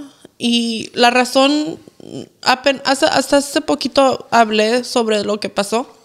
No había tenido el valor de hablarlo, pero yo tengo un tipo de sangre, es un derivado de, se llama RH negativo, en la cual si tu bebé no viene con el mismo tipo de sangre que tú eres, tu cuerpo lo rechaza.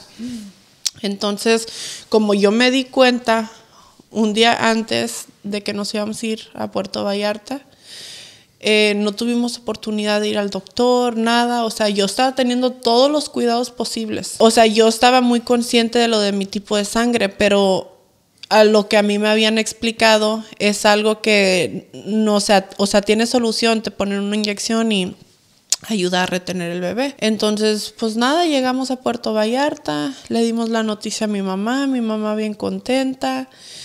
Y mientras que estábamos allá, me acuerdo, una mañana, pues amanecí spotting, no, oh, no en sí sangrando. Y lo levanté él, yo estaba preocupada, eran como las 7 de la mañana. Y me dice, no te preocupes, nos metimos hacia Google, él tiene un amigo que es médico y no, que pues podía ser normal. Pero yo no me sentía normal, yo decía, no, hay, algo no está bien. Y me decía él, tranquilízate, you're gonna make it worse. Bueno, fuimos a comer y mientras que estábamos, eh, fuimos a Sayulita. Y mientras que estábamos allá, empecé a sangrar más y más. Y me empecé a preocupar. Y llegamos a una clínica allá. Y era uno de esos momentos, ¿cómo te puedo decir? Me imagino que lo que yo sentí en ese momento es lo mismo que siente quizá, y tal vez me estoy yendo a los extremos, es algo que quizá lo ha de sentir una persona que está consciente que está a punto de morirse. Como como que sabes que no quieres morirte, pero es lo que va a pasar. y, ajá, o sea, que ya no puedes hacer nada y es lo que yo sentí en ese momento. Dije, no, oh my God, ¿cómo quiero yo poder retener a mi le bebé? Decíamos a los doctores y nos decían, no, no, no. No se puede, no. ¿O empiezas a sangrar y te llevan al hospital o cómo pasa? A una clínica. Me llevó a una clínica y me dijo, oh, pues si se te va a venir, se te va a venir, no podemos hacer nada al respecto. Así que nomás tienes que esperar a que se te salga. Y, así me sentí yo, dije, por más que yo quiera retener a mi bebé y, que no se me salga, no hay nada que puedo hacer. Y me acuerdo, en el baño de esa clínica fue donde se me vino. Y contactamos a un doctor, al doctor Topete, de ahí de San José del Valle. Y nos dijo, no, no, no, eh, creo que era un fin de semana y él no trabajaba y dijo, no, no, no, ve, tráiganla ahorita, todavía lo podemos retener, eh, los de la clínica están mensos. Y llegamos a la clínica y yo pues con la ansiedad todo lo que daba y, yo con, e, con, esa, con ese hope, teníamos esperanzas. Porque yo tengo una prima que al parecer también se le vino una hemorragia mientras que estaba embarazada. Entonces me dio ilusión, me dio, you know, hope, me dio fe. Y cuando llegamos, pues me hizo un ultrasonido y me dijo, ya no tienes nada. Y fue, fue, fue bien difícil. Entonces, después de eso, yo estaba como terca. Yo le decía, ya, ya, ya quiero salir embarazada, quiero tener otro bebé porque me sentía, no sé, como que me habían quitado algo. Y me decía él, no, espérate, deja que tu cuerpo se te recupere. Y yo andaba como mis hormonas, they were all over the place. Si quería y luego decía, no, no quiero y, qué va a pasar y qué tal si me vuelve a pasar lo mismo. Y, y todo el embarazo tuvimos pendiente. Sí, entonces pues yo salí embarazada otra vez en febrero y yo tenía temor decirle y o, o, o, que te pasara igual. Sí, o que me pasara igual. Tenía temor de, de volver a ilusionarme con otro bebé y y siempre no. Entonces los primeros meses de mi embarazo, yo intenté no estar ilusionada con mi embarazo. Intentaba no agarrarle amor porque siempre era el, mismo temor cuando iba al baño, tenía miedo volver a ver lo mismo que miré. Y me decía él, no, tranquilízate. Y tengo una doctora... Tenías ese trauma tuya. Sí, ya era como un trauma. Me decía, tranquilízate porque si no tu ansiedad te lo puede provocar. Entonces yo tengo una ginecóloga que es muy buena y estoy muy agradecida con ella porque fui con ella en cuanto me enteré que estaba embarazada, fui con ella y le platiqué lo que me había pasado en, en, octubre, que no tuve ni siquiera la oportunidad de ir a verla. Y ella me cuidó, me dio supositorios, inyecciones, o sea, me cuidó y de más. Y pues ahí está mi mi Dorito. Tu Dorito, Mi Rainbow Baby. Ay, amiga, no sé qué decir. Me quedé sin palabras, pero. Thank you. No, es, mira, es que, sabes, a veces, a veces siento que ya lo superé porque venía yo, yo venía aquí a la entrevista ya mentalizada, dije, bueno, si llegamos a sacar el tema, ya estoy bien, ya me siento bien, no va a pasar nada, ya, you know, ya entendí que Dios nomás no lo prestó, pero ya cuando estás aquí y tienes que contar y, y revivir el momento es como que, ay, no lo he superado y, y pues yo te digo, yo tenía semanas, yo no me quiero imaginar lo que otras personas han pasado porque muchas mamás se relacionaron conmigo de lo que yo pasé y muchas me decían, no, es que yo lo perdí cuando yo tenía ocho meses, cuando tu mamá nació mi mamá, pues ya ves ¿Qué le pasó? todo lo que pasó a mi mamá. Entonces, no me quiero imaginar por lo que pasan otras personas. Les pasó eso y obviamente, you know, les cambia la vida. ¿Cómo les afectó eso individualmente y como pareja? Yo en lo personal sí me, me sentí muy mal, pero yo tomé el rol de pues de hombre en la casa de que pues tengo que no pueden estar los dos rotos. Yo traté después de apoyarla al máximo a ella porque al final de cuentas sé que fue algo muy fuerte, no digo que para mí menos, pero creo yo que pues ella es quien lo tuvo en su vientre y todo. Y le hagamos como le hagamos, le afectó mucho más. Yo me sentí mal, pero yo traté todo el tiempo de despejarme. Me acuerdo que yo me iba temprano a trabajar y para despabilar la mente y la trataba de llevar a lugares, vamos a pasear para acá, vamos para allá.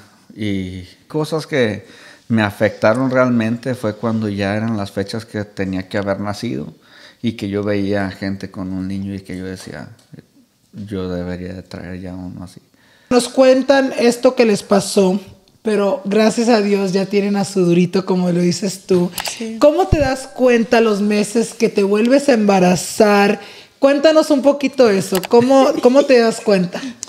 Pues mira, los eh, Para los que no saben, para los que no saben, estábamos intentando, la verdad. Entonces eso se dio para un cumpleaños de él. Sí, pero también influyó, este, no sé si ubica a Marilí Larios. Y a Aníbar. Entonces un día me dijo, Aníbar me dijo, viejón, allá hay una aplicación porque él tiene, creo que cinco hijos, ¿verdad? Tiene Me cinco. dijo, hay una aplicación que, Que no falla. Y le dije, ¿a poco sí? Sí, ya nos dijeron ahí, Marilí y Aníbar, ahí nos estaban contando. Y la verdad que sí, no hay falla a la primera. Pasó. Ya, ¿Una aplicación de teléfono? Sí, Sí. es una aplicación que te dice cuándo deberías Like, de, de how when- yeah. Okay. So, seguimos los pasos y... Y sí pasó. Y sí, y pues me enteré yo y... y ¿Cómo? Le ¿Cómo? dije, le dije, Porque no yo me estaba acuerdo. escéptico, pues. O Sí. sea, pues te dicen una aplicación y dices, ¿Qué ¿Cómo pedo con pues, esto? no? Ya, ya. Ya, como por unos dos meses intentamos y nos salíamos otra vez pregnant. Um, entonces yo cuando me iba a tomar la prueba de embarazo ya decía, "Ah, pues va a salir negativo, y va a salir negativo. Y un día que me sale positivo y me fue una impresión que yo, que yo quería hacerle a él como una sorpresa o un pastel o algo, algo como para, para decirle Para- que iba a ser papá pero no me podía sostener yo las ganas y un día pues nomás ah, fue cuando empezamos a hacer TikToks que yo grababa todo. Todo. Entonces él ya estaba impuesto a que yo grabara y pues puse mi teléfono ahí, empecé a grabar. Él se estaba comiendo, creo que eran unas lentejas que le había hecho. y se me estaba, me acuerdo que se me estaban atorando entre los brackets y estaba yo bien incómodo. Hay un video Sí. y que me, ¿cómo fue que? Le dije, es que tenemos un grupo de amigos que nos hacemos, en- entre nosotros, pues, nos hacemos llamar el Team Belicón. y nos juntamos. Eh, nos juntamos seguido y, yo les dije, según yo muy intensa, le- les dije, oigan, pues lo que pasa es que me contactó alguien para ver si podía ser parte del Team Belicón y ellos así como que, como que parte, Yeah. ¿ok? Le- les dije, y yo no sé qué decirle. Entonces quería ver qué es lo que opinaban ustedes. Ah, Y, ¿Y, yo quién en ese es? momento me acuerdo que estaba pensando, ¿quién será? Ajá. ¿Y, de este- ¿Y de quién Y habla yo esta? ya? me saqué la prueba de embarazo y como que le tomó unos momentos para él como que y me dice no Cállate, que- cállate. y todos pues nos agarramos muy Ajá. contentos y fue como a mixed emotions porque estaba muy contenta yo pero todavía estaba con el miedo. Con el miedo. So, obviamente nos cuentas anteriormente que pues en los principios de tu embarazo tenías la mentalidad, pues el susto y el trauma de que pues no me quiero encariñar mucho, que esto puede pasar. Pasa eso. ¿Cómo te fue tu embarazo? ¿Cómo lo viviste? ¿Was it hard? ¿Fue algo leve? ¿Cómo fue todo eso? Fue muy tranquilo, fíjate. Fue muy tranquilo. La verdad que más que nada el apoyo de él fue muy primordial. Eh, me consentía mucho, siempre me llevaba a las horas que fueran a comer. Yo, yo era la embarazada más consentida. feliz y más consentida de este mundo. De repente se me antojaban que, que unos zapatos. Pero me la pasé muy tranquila y pues no estaría mal tener otro embarazo así de tranquilo, la verdad. Y pues nos la pasamos también haciendo contenido en las redes sociales, fue algo que a mí me distrajo mucho.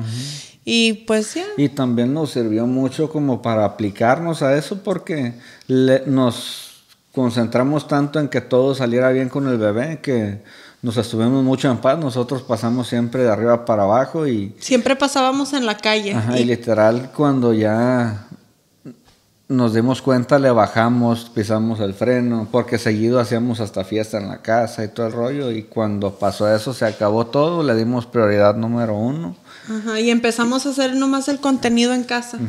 Y nos quedamos en casa y siento como que eso fue también lo que nos empujó para arriba, el estar siempre ocupados haciendo contenido y... Ya Karim más grande y dice más cosas y yo me enfoqué en grabarlo, todo porque Karim es un personajazo, pues. Y pues crecimos mucho como familia, nuestra mentalidad, nos tranquilizamos mucho y pues el embarazo todo fluyó. ¿Cómo fue el parto? Yo sé que tuviste un parto un poquito diferente porque tú lo planeaste más el parto. Cuéntanos un poquito más de eso y cómo fue todo el parto.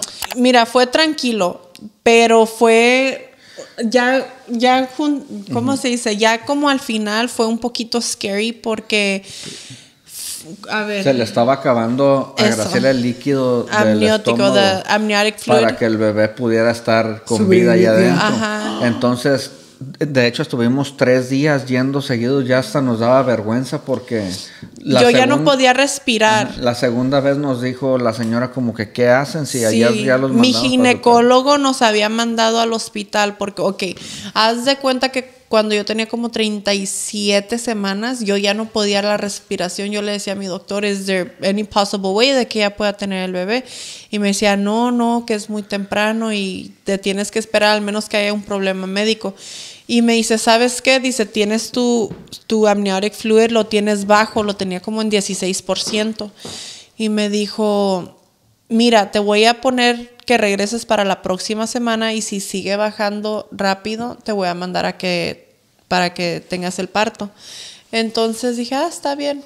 Bueno, a la mitad de la semana me llama mi otra ginecóloga, la mujer, y me dice, oye, Devor, ah, así se llama el, el, doctor. Ajá, el doctor. Dice, Devor dijo que tenías el amniotic fluid muy bajo, vete al hospital ahorita. Y yo le digo, ahorita le digo, pues vivo en Bakersfield. Y pues Bakersfield, yo me iba a aliviar aquí en Tarzana porque no crees que le tengo mucha fe a los doctores de Bakersfield. Entonces le dije, vivo lejos. ¿Quieres que vaya ahorita? Sí, sí, te tienes que ir ahorita. Le digo, bueno, nos fuimos. Empacamos las cosas por si acaso y ya las traíamos paseando en el carro para arriba y para abajo, por si las dudas. Pues llegamos al hospital y me dijeron, pues, ¿qué haces aquí? Le dije, pues me mandó mi ginecóloga porque tengo el amniotic fluid low. Y me dice, ok, pues they check me in y todo. Duramos ahí como una hora y media. Y ya que me revisan y me dice la muchacha, no, you gotta go home. Tu amniotic fluid está bien. Y yo, bueno, está bien. Pues ahí vamos de regreso a Bakersfield esa misma noche. Y al próximo día me marca otra vez mi ginecóloga y me dice, ¿Qué te dijeron? Le dije, no, pues me dijeron que estaba bien. No, regrésate ahorita y que te internen. Y yo, pues. Ya fui, ya, me fui y, me, sacaron. Bueno, ahí vamos otra vez y ahí vamos con las cosas. Y sucede que al, siguiente día, después de esa noche, ya me tocaba la cita con Devor, con el ginecólogo Sí. El que iba a ordenar. El, Ajá. El que, empezara el parto y todo. So, nos venimos a Los Ángeles y ya entramos y otra vez me hicieron sentir bien incómoda, así como que, ¿qué estás haciendo Y aquí? esta no- no escuchó ayer. Sí, o sea, ¿qué, qué haces aquí? ¿Para qué quieren tus doctores que, que vengas? No, no hay razón por la que estés aquí. Yo así como que... Y ya me dijeron, no, your amniotic fluid is good. Y ya le dije, ¿sabes qué? Hay que quedarnos de aquí porque yo no pienso volver otra vez a Bakersfield. Es un, es un tramo muy largo. Le dije, hay que quedarnos de aquí. Ya mañana vamos a ver qué nos dice el doctor. Si nos queda tocarnos, nos quedamos. Y si no, ya nos regresamos a Bakersfield. Ok. Al siguiente día, pues tuvimos la cita con Devore. Y me dice, tu amniotic fluid está a 4%. Firmó ahí, vete de aquí al hospital, no me vayas a tomar ni comer nada, hoy vas a tener a tu bebé. Y se me hizo una gran negligencia de parte del hospital. negligencias aquí a causa de eso. Sí, y me dijo, si tú dures un día más, dos días más con tu embarazo, dice, tu, tu bebé no la, no la hubiera hecho. Y me dijo, dice, ¿quién te hizo el ultrasonido? Ocupo de saber quién porque Oh, es una pidió su negligencia. nombre también y todo. Sí. No nomás está tu vida en riesgo, pero también la de tu bebé. Sí. Obviamente da salud. ¿Cómo les ha cambiado la vida su bebé? Oh, nos ha dado batallas. nos ha dado es que batallas, sabes, pero. lo más difícil de cuando nacen los bebés son los primeros tres meses, yo creo. Y estamos en el mes dos. Entonces, como les dijimos al inicio, pasamos esta noche, una noche durísima, más duro que el primer día, que el día que nació. Pero ya poco a poco ha ido mejorando. O esta noche no sé qué pasó, pero ha ido mejorando mucho. Ya nos sentimos más tranquilos. Pues como papás nos Dentro de sentimos lo que cabe. más cómodos ya con el bebé que con Karim, porque con Karim no sabíamos nada. Ya. Entonces estábamos aprendiendo. Y cuando íbamos en el carro traíamos miedo, pues llevábamos un bebé. Y ahora pues ya no es lo mismo, pues con Dorian ya, pues ya sabemos que ahí va, va bien, uno lo va escuchando, lo va mirando. Y Ya. luego también Karim lo tomó todo muy tranquilo. Él está obsesionado con su hermanito. Nosotros pensamos que quizá le iba a dar como celo, o algo, pero no, No, él nosotros. está pero feliz de que nosotros a veces, a veces jugamos con él. Y le decimos, ah, aquí vamos a dejar a tu hermanito, ya para que no, ya no lo queremos, lo vamos a No, se regresar. enoja. Se enoja. No. Te Y regalamos yo- a ti, eh, no, ah. me dice, yo me lo llevo y no. Oh. No. Se agarra Es lo, defendiéndolo. lo bueno que cuando yo pienso que también ya está en la edad donde a lo mejor ella quiere su hermanito, ya está en la Sí, edad donde él ya quería. alguien con quien sí, jugar. y todos los días nos dice, ya mañana lunes ya va a estar muy grande en sus palabras, o sea, no sabe, no sabe cómo decir mañana, pasado, el próximo año, Le decía, ayer, mañana antier". va a andar caminando, va a Sí. andar corriendo. Oh, Siempre know. dice mañana lunes o ayer lunes, no si sabe ni de lo el que está otro diciendo. pero mañana, él- mañana, mañana ya va a poder Ajá. jugar. Bien cansados pero felices andan, Sí. ¿verdad? También una cosa que también quiero platicar un poco de, los miramos en TikTok y son bien abiertos en todas las maneras. Ustedes hablan de cómo van a criar a su bebé, has hablado about not, not breastfeeding, has hablado de muchas cosas y pues a ti siempre se te ha criticado mucho en esa manera. ¿Cómo ustedes, you know, le hacen con todo el hate que han agarrado en cómo criar a su bebé? Mira, más que nada tenemos un público muy positivo y qué bonito la verdad, porque ha cambiado muchísimo. Antes mi público en general era muy negativo y ahora recibimos mucho amor, pero nunca falta la mosca en la sopa, así le vamos a poner, lo que arruina la comida, porque entre tanto comentario positivo luego ves, ay, pero nunca cuida a su hijo y nunca eso, o sea, nu- nunca Pero lo bueno que ahora la misma gente ya ni uno ocupa Sí, contestar, ya la misma nunca- gente ya les contesta y se encarga. Ya no gastamos como nuestro tiempo en querer intentar explicar, es que mira, tenemos trabajo, mira, ocupamos, tú sabes que en el en el mundo de en el que estamos no lo estoy usando como excusa, pero de repente, hey, mañana tienen que ir para allá, mañana para acá y dices tú, pues yo quis, yo quisiera tener al Dorian aquí, pero tú sabes que esta entrevista, por ejemplo, no fuera posible si hubiera un niño aquí llorando y el otro pintándote las paredes, ¿me entiendes? Entonces, cuando se ocupa, yo dejo a los niños y apenas a los niños, porque de, de principio nomás dejaba a Karim. A Karim, ya. Y me llevaba a Dorito para todas partes, pero como ahorita ya me siento un poquito mejor, que ya está más grandecito, ya como este tipo de situaciones se lo dejo a mi mamá, pero hasta en, en este tipo de situaciones la gente no sé por qué lo ve mal. No, y sabes algo, pues pues la mamá de Graciela, pues ella se enoja que la gente le dice que... Ay, porque, mi mamá. Porque doña Mina lo que más quiere es tenerlos. Sí, pues. mi mamá, o sea, me Si regálame los sí, si quieres, No, ya por sí, ya cuando, cuando nació Do- Dorito me dijo, no, pues dice, pues ya tuvieron otro, dice, si quieres ya déjame a Karim, yo mamá, ya, y ahora también con Dorian, ya le llora, ya cuando, No. cuando, ajá, cuando de repente se lo dejo así El un otro día, nos dijo que le hizo un closet, pues ya. ya, ahí ya de- tiene closet Pero y ves, eso todo es lo Dorito. bueno. Yo cuando yo miro que la gente los critica, yo a veces digo, la gente no se pone a pensar que igual como sus papás de ellos los dejan Sí. por 8, 10, 12 horas para irse a trabajar, es igual. Obviamente Sí. su trabajo de ustedes es muy Diferente. Y gracias a Dios que no ocupamos una guardería o una persona ajena porque como eh, voy a poner de ejemplo a Graciela, ella me ha contado que ella tuvo una cuidadora que la pateaba contra la puerta, entonces gracias a Dios que no tenemos Sí, esa yo tuve situación. una situación muy traumática, entonces para mí la mejor persona que me puede cuidar mis hijos es mi mamá.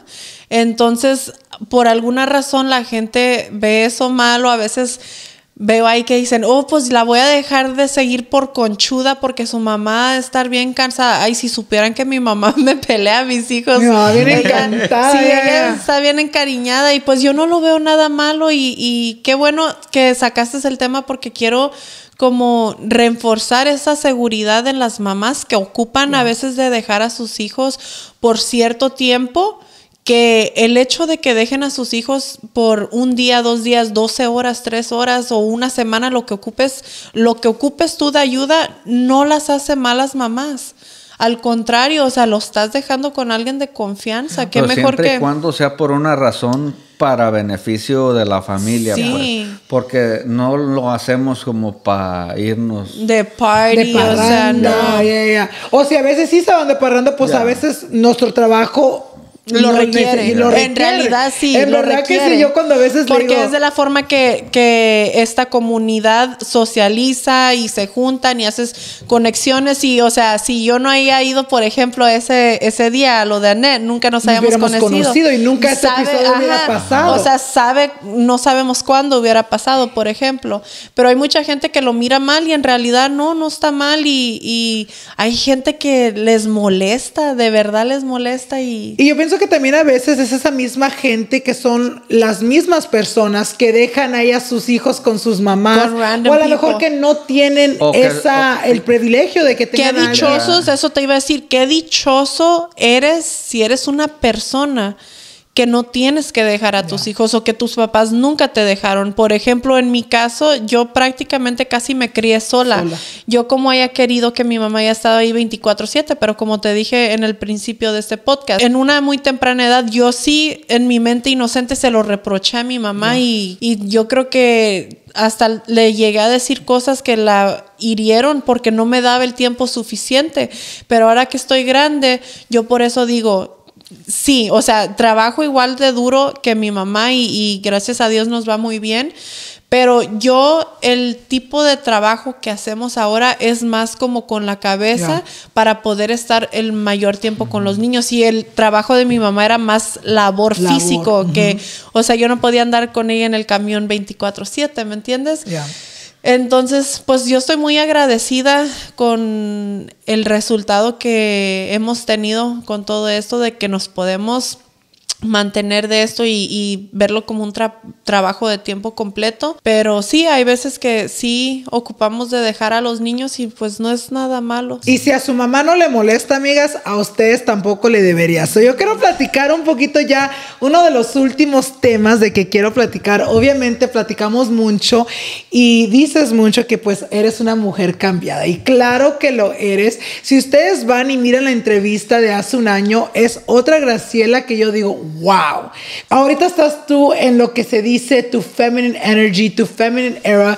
¿Cómo empezó todo eso y qué te hizo a ti decir, sabes qué? I want to get in tune with my feminine energy. Sabes, es algo que yo tengo mucho tiempo planeando en sí. Es algo que yo no le había dicho ni siquiera a él. Yo me ponía a ver videos en TikTok, en YouTube, acá escondidas, porque de cierta forma me daba como vergüenza salirme del papel del cual estoy o he estado acostumbrada, que es esa energía fuerte, esa energía como masculina. No, no quiero decirte energía entre comillas chingona, porque una mujer que es muy dócil, muy femenina, también puede ser una mujer chingona. Entonces, siento como que eso de la energía femenina, mira, yo tenía mucho tiempo planeándolo y, viendo cómo iba a ser mi cambio y, un cambio a algo a lo que yo me pudiera acostumbrar. Yo no quería de un día para otro, oh, traigo negro y ya mañana toda pink, toda positiva, no. Este, primero empecé como eliminando las malas palabras, eh, empecé a arreglarme ya diario, empecé a dedicarme más tiempo para mí, ser más, o sea, yo siempre he sido con él bien dulce. Yo siempre he sido una persona diferente en la casa que en las redes sociales. Siento como que en redes sociales siempre me miraban como esa mujer pudiente, la de los huevos o acá like a Busby, you know. De un tiempo para acá yo me empecé a cansar de eso porque yo miraba cómo la gente me trataba. Me molestaba tanto, pues yo borré un TikTok, lo eliminé de la noche a la mañana, dije, lo voy a borrar. Él no quería que lo borrara y le dije, no tengo nada que perder. La Una cuenta de TikTok. sí, sí. sí. sí le dije, yo no tengo nada que perder. La mayoría son gente que me comenta puras cochinadas o groserías y a mí ya me estaba hartando meterme todos los días a, la cuenta de TikTok y ver gente criticándome por cosas que uno dice, ¿por qué haces eso? Te tuviera enfrente, no te atreverías a decirme algo así. ¿Por qué te sientes con aquel valor de hacerlo por medio de una pantalla y yo me hartaba, me frustraba, yo miraba también cómo me trataban las personas alrededor de mí, porque te digo, yo era una persona muy diferente en la casa que en las redes sociales. Y era algo que yo le platicaba a él, le decía, pues yo quisiera que la gente viera esta parte de mí, porque lo que tú estás viendo ya ahorita, era lo que él miraba. Ajá, esta soy yo en realidadmente, pero a mí se me dificultaba mucho proyectar eso al público. Porque me daba vergüenza, no sé, no quería que me vieran como que, ay, esta santa ahora de la nada quiere cambiar. Y fíjate que hay gente todavía así. Hay gente que me pone, porque yo de todos modos le contesto a la gente, pero educadamente. Kill them with kindness. Es lo que aprendí. Mátalos con, con ser buena persona. No hay algo que le moleste más a una persona que le contestes con algo positivo. Se frustran el ver que tú les contestas de buena manera y sabes qué, no te gusta esto, está bien, que Dios te bendiga. Pero haz de cuenta que empecé a cambiar, empecé a, aplicar esas cosas en mi vida y te digo, hasta la fecha todavía hay gente que me dice, ay, pero si antes eras bien vulgar, bien corriente de la forma que hablaba que les mentaba la madre y me agarraba peleando y sí, sí, sí, sí, pero la gente cambia. Si tú no quieres cambiar, no cambies, pero déjame a mí cambiar, déjame a mí florecer, déjame a mí ser mejor persona. Quiero ser mejor persona para mí, para mis hijos, para mi familia, para mi esposo. Quiero convertirme en mejor persona. Entonces, ¿por qué te está molestando tanto a ti? Porque tú no lo puedes hacer, hazlo. Las personas que realmente somos felices no estamos detrás de un teléfono teléfono criticando las vidas de los demás, eh, comentando. Yo jamás me he atrevido a comentarle algo negativo a otra persona. Sí, estamos de acuerdo que no siempre vamos a estar de acuerdo con la mentalidad de otra persona, su físico, su forma de hablar, su forma de vestir, no, eh, o sea, el mundo no es perfecto, no vamos a estar siempre de acuerdo, pero ¿por qué salirte de tu zona a ir a, hacer a esa persona sentirse más incómoda o incómoda en general? ¿Para qué hacer eso? Entonces yo no, yo no le miro el chiste a las personas que son tan negativas dentro de las redes sociales. Me molesta porque digo, hay una, hay una parte, y tú sabes, de las redes sociales y estamos platicando sobre esto justo antes de que empezáramos este podcast, de que la gente en internet se siente tan perfecta como que nunca han dicho nada malo, hecho no nada rompido un malo. plato. Sí, no rompen ni un plato. Entonces, cuando estás como, eh, eh, te hace sentir como que estás entre la espada y, la, pared. Te sientes criticada, te sientes así como, la gente nunca va a estar conforme, nunca va a estar feliz. Porque, ok, a lo que iba es que está esa parte de soy la más perfecta, pero luego está la otra, la otra parte en la que la gente puede ser el bully más grande que has tenido. Entonces dices, on- ¿en dónde está el balance? ¿O por qué no, por qué no pueden respetar? ¿Por qué no? ¿Cuál es el punto? ¿Cuál es el punto de salirte de tu zona, de tu zona tuya para venir a hacerme sentir incómoda a mí? ¿Ha sido difícil para ti ser estos cambios? No. Ha sido difícil, por ejemplo, yo estaba muy acostumbrada a decir groserías. Eso creo que fue lo más difícil, el filtrar todas mis palabras y ahorita ya no lo hago mucho, pero cuando de recién empecé me detenía mucho, me detenía, ok, ¿cómo va a decir esto sin decir Fuck, o esto, Sí, o esto. otro, Por ejemplo, ajá. siempre me detenía y ahorita ya es como que más fluido, más... Ya te nace, ya como que Sí, ya, ya, me nace. ya lo pudiste Ya hacer. me nace. Pero así en, en otros cambios, la verdad, o sea, no se me hizo difícil porque era algo que yo quería. Y pienso que cuando, como dice él, todo lo que vale la pena merece un esfuerzo. Y así fue como yo lo miré. Yo dije, yo quiero cambiar. Yo ya no me quiero, ya, ya no quiero que me vean como esa persona problemática o polémica o grosera. Ya no quiero eso para mí. Yo ya quiero que la gente me trate de una forma más femenina, más diferente, porque eso es lo que yo soy. Pero pues desde siempre he proyectado una imagen diferente en las redes sociales y ya me cansé de eso. Nos cuentas de que pues tú casi por toda tu vida querías ser como tener esa energía masculina, querías estar en control. ¿De dónde crees tú que viene eso? De mi mamá, 100%. ¿En qué manera? Porque, como te digo, mi mamá fue troquera, mi mamá siempre fue la que tenía los pantalones en la casa. Yo nunca tuve como esa figura paterna de, de que yo mirara que la mujer se quedaba en la casa y el hombre trabajaba o el hombre fuera el de los pantalones. Entonces yo, como que yo agarré eso de mi mamá y yo dije, pues yo voy a ser trabajadora.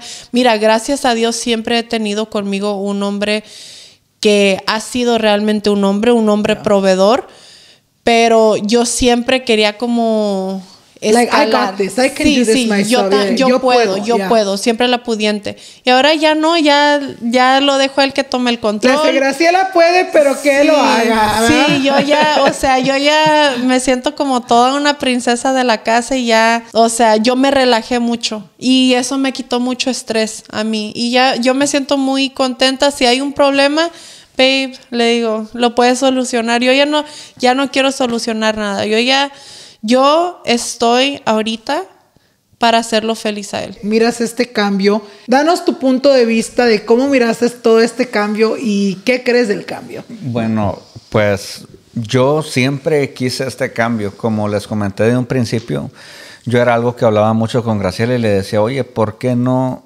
te comportas como tú lo eres conmigo? Porque realmente conmigo siempre fue dulce y así. Claro, como hago el hincapié de un principio, tuvimos problemas y todo ese rollo, pero cuando las cosas se enfriaron, que ya pasamos a tener una relación pues estable, todo bien, pues yo le decía mucho eso. Pero para mí en este momento, como afecta para bien, o sea, beneficia, no afecta, impacta para bien, porque a mí me, pues me deja desenvolverme más en las cosas como yo las veo, como yo pienso que deberían de marchar. La verdad que llevo Menos estrés. menos estrés, por así decirlo. Por eso es que te digo que yo estoy para hacerla, para hacerlo feliz a él, para que él esté en un ambiente relajado Sí. en el cual él puede hacer las cosas que hace un hombre. Ya, porque mira, muchas veces si tienes, es, voy a ser directo, a veces Graciela quería hacer cosas que no hacen las viejas. Perdón por la palabra, ¿eh? pero pues yo le decía, hey, relájate. por eso estoy yo. Yeah. No, pero... Como me ponía a pelear. Te como- ponías tú que tú te querías poner el rol del, del hombre de la pareja. Sí. Y no lo dejabas Y nomás, pues. o sea, No, no, no solo, no exactamente el rol del hombre ni nada, pero quería hacer cosas que una mujer no tiene que hacer, pues. Por ejemplo, si había que cambiar una lámpara o lo que sea, y a veces llegaba yo y ya estaba, y hey, ¿qué rollo? Pues yo lo hago eso, eso es mi jale, eso déjamelo a mí, por favor. Y yo nomás por mi mente pudiente porque puedo y porque quiero. Igual y ahora para- ya no. igual si para no mane- sirve la luz, hay que se funda si Y- quiere. igual- espero. Ah. Ajá, igual para manejar. Le digo, güey, yo no quiero chofer. Yo aquí soy el que maneja. Tenemos un acuerdo en México, sí maneja ella por una experiencia que tuvimos. Pero, pues de ahí en más yo soy el que maneja, pues. Claro que nos tornamos a veces el volante cuando nos toca una manejada larga, pero son detalles que, pues, uno como hombre quiere sentir que tiene una mujer en su, a- al lado de él. En su punto de vista, ¿por qué es importante que pues una mujer esté en tune con su feminine energy? Pues mira, para mí fue importante por, como te digo, que yo quería que las cosas cambiaran y mm, que me vieran en, como mujer en el mundo de afuera igual como en el mundo de adentro. Y sabes, ah, otra cosa que me, pasa, me pasaba a mí con ella, yo no le podía dar sorpresas. Porque de todo se enteraba, estaba de detective. Y las últimas sorpresas que le he dado, pues ni, Ni en clue. ni en cuenta. Un día le llené la casa de flores y despertó, nomás estaba llena de flores. Sí, la ese casa. es, eh, sabes que ese es otro punto que también por eso me quise relajar porque él le él siempre le ha gustado ser muy espléndido conmigo. Pero yo, Detallista, ajá, yo no le daba como esa oportunidad, es- ese tiempo de privacidad como para que él planeara algo, porque yo siempre estaba pensando negativamente, maliciosamente. Yo decía, ¿qué está haciendo? ¿Con quién está? Le voy a hablando?" averiguar y encontrabas Sí, lo que y o sea, haciendo. honestamente... Ya, y es gacho que te descubran una buena intención que traes, como cuando yo iba a darle un detalle que yo ya sabía que porque me andaba ahí checando el teléfono, ya sabía. Y tú ves cuando alguien no se sorprende, entonces tú traes la Sí. ilusión de sorprender a alguien y terminas sorprendido de que, oh, nomás me haya gustado este color. Eso no. Y ahora que ha pasado así, que le he dado detalles y cosas así, pues em, es chingón, pues a uno como hombre le gusta, pues cortejar y sorprender a su mujer. Eso es lo que está pasando. pues. Y luego al rato, surprise, otro bebé. Otra- ah, ahora sí, ahora tú lo vas a poder sorprender a él. Nos cuentan obviamente que ha mejorado tú, este cambio tú que has hecho, ha mejorado mucho su relación. ¿En qué manera, en qué ejemplo nos pueden dar, o una historia que nos pueden dar que uno puede decir, ok, miro el cambio?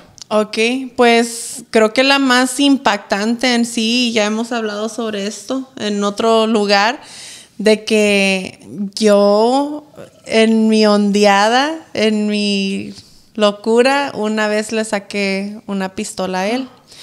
Entonces, a ese nivel de toxicidad fue al que llegamos. Nunca, eh, o sea, se te hace, te preguntas como que, ¿qué onda? Porque dices, pienso que primero deberían de venir los golpes y los maltratos antes de una pistola. O sea, yo me fui de- aquí De a aquí aquí. ya, ya. Ajá. Nunca nos hemos maltratado verbalmente, nunca nos hemos dicho como, ay, se me hace hasta feo decirlo, nunca nos hem- hemos dicho ni pendejo ni Pendejo, pendeja. Sí, o sea, se nos hace así como algo muy ajeno. Pero yo en mi ondeada, un- una enojada que me di en un año nuevo, se me ocurrió sacarle una pistola. Y, o sea, no pasó nada, gracias a Dios, pero yo me ponía muy tóxica con él. Eh, en esa ocasión específicamente andaba yo muy tomada y te digo, fueron por cosas del pasado que no quisiera como volver a retomar, cosas que, que pasan normalmente las parejas, mm, por la cual hice esa acción. Se me hace como hasta difícil platicar sobre ella porque pues no quiero que vuelva a salir a la luz. Pero el punto es que yo por tóxica hice eso y, y desde ese momento yo dije no. Tengo que cambiar. Yo Y tengo que me puse en alerta máxima. Porque dije yo, ¿con quién estoy? ¿Me va a descabechar un día dormido? Sí, y yo, yo comprendo eso, o sea, ya lo comprendo. Ah. Yo, yo creo que si él me haya aplicado una de esas, o sea, nos dejamos. Por eso te dije en un principio que la paciencia que me ha tenido él, yo estoy muy agradecida por esa paciencia porque él ha esperado mi cambio.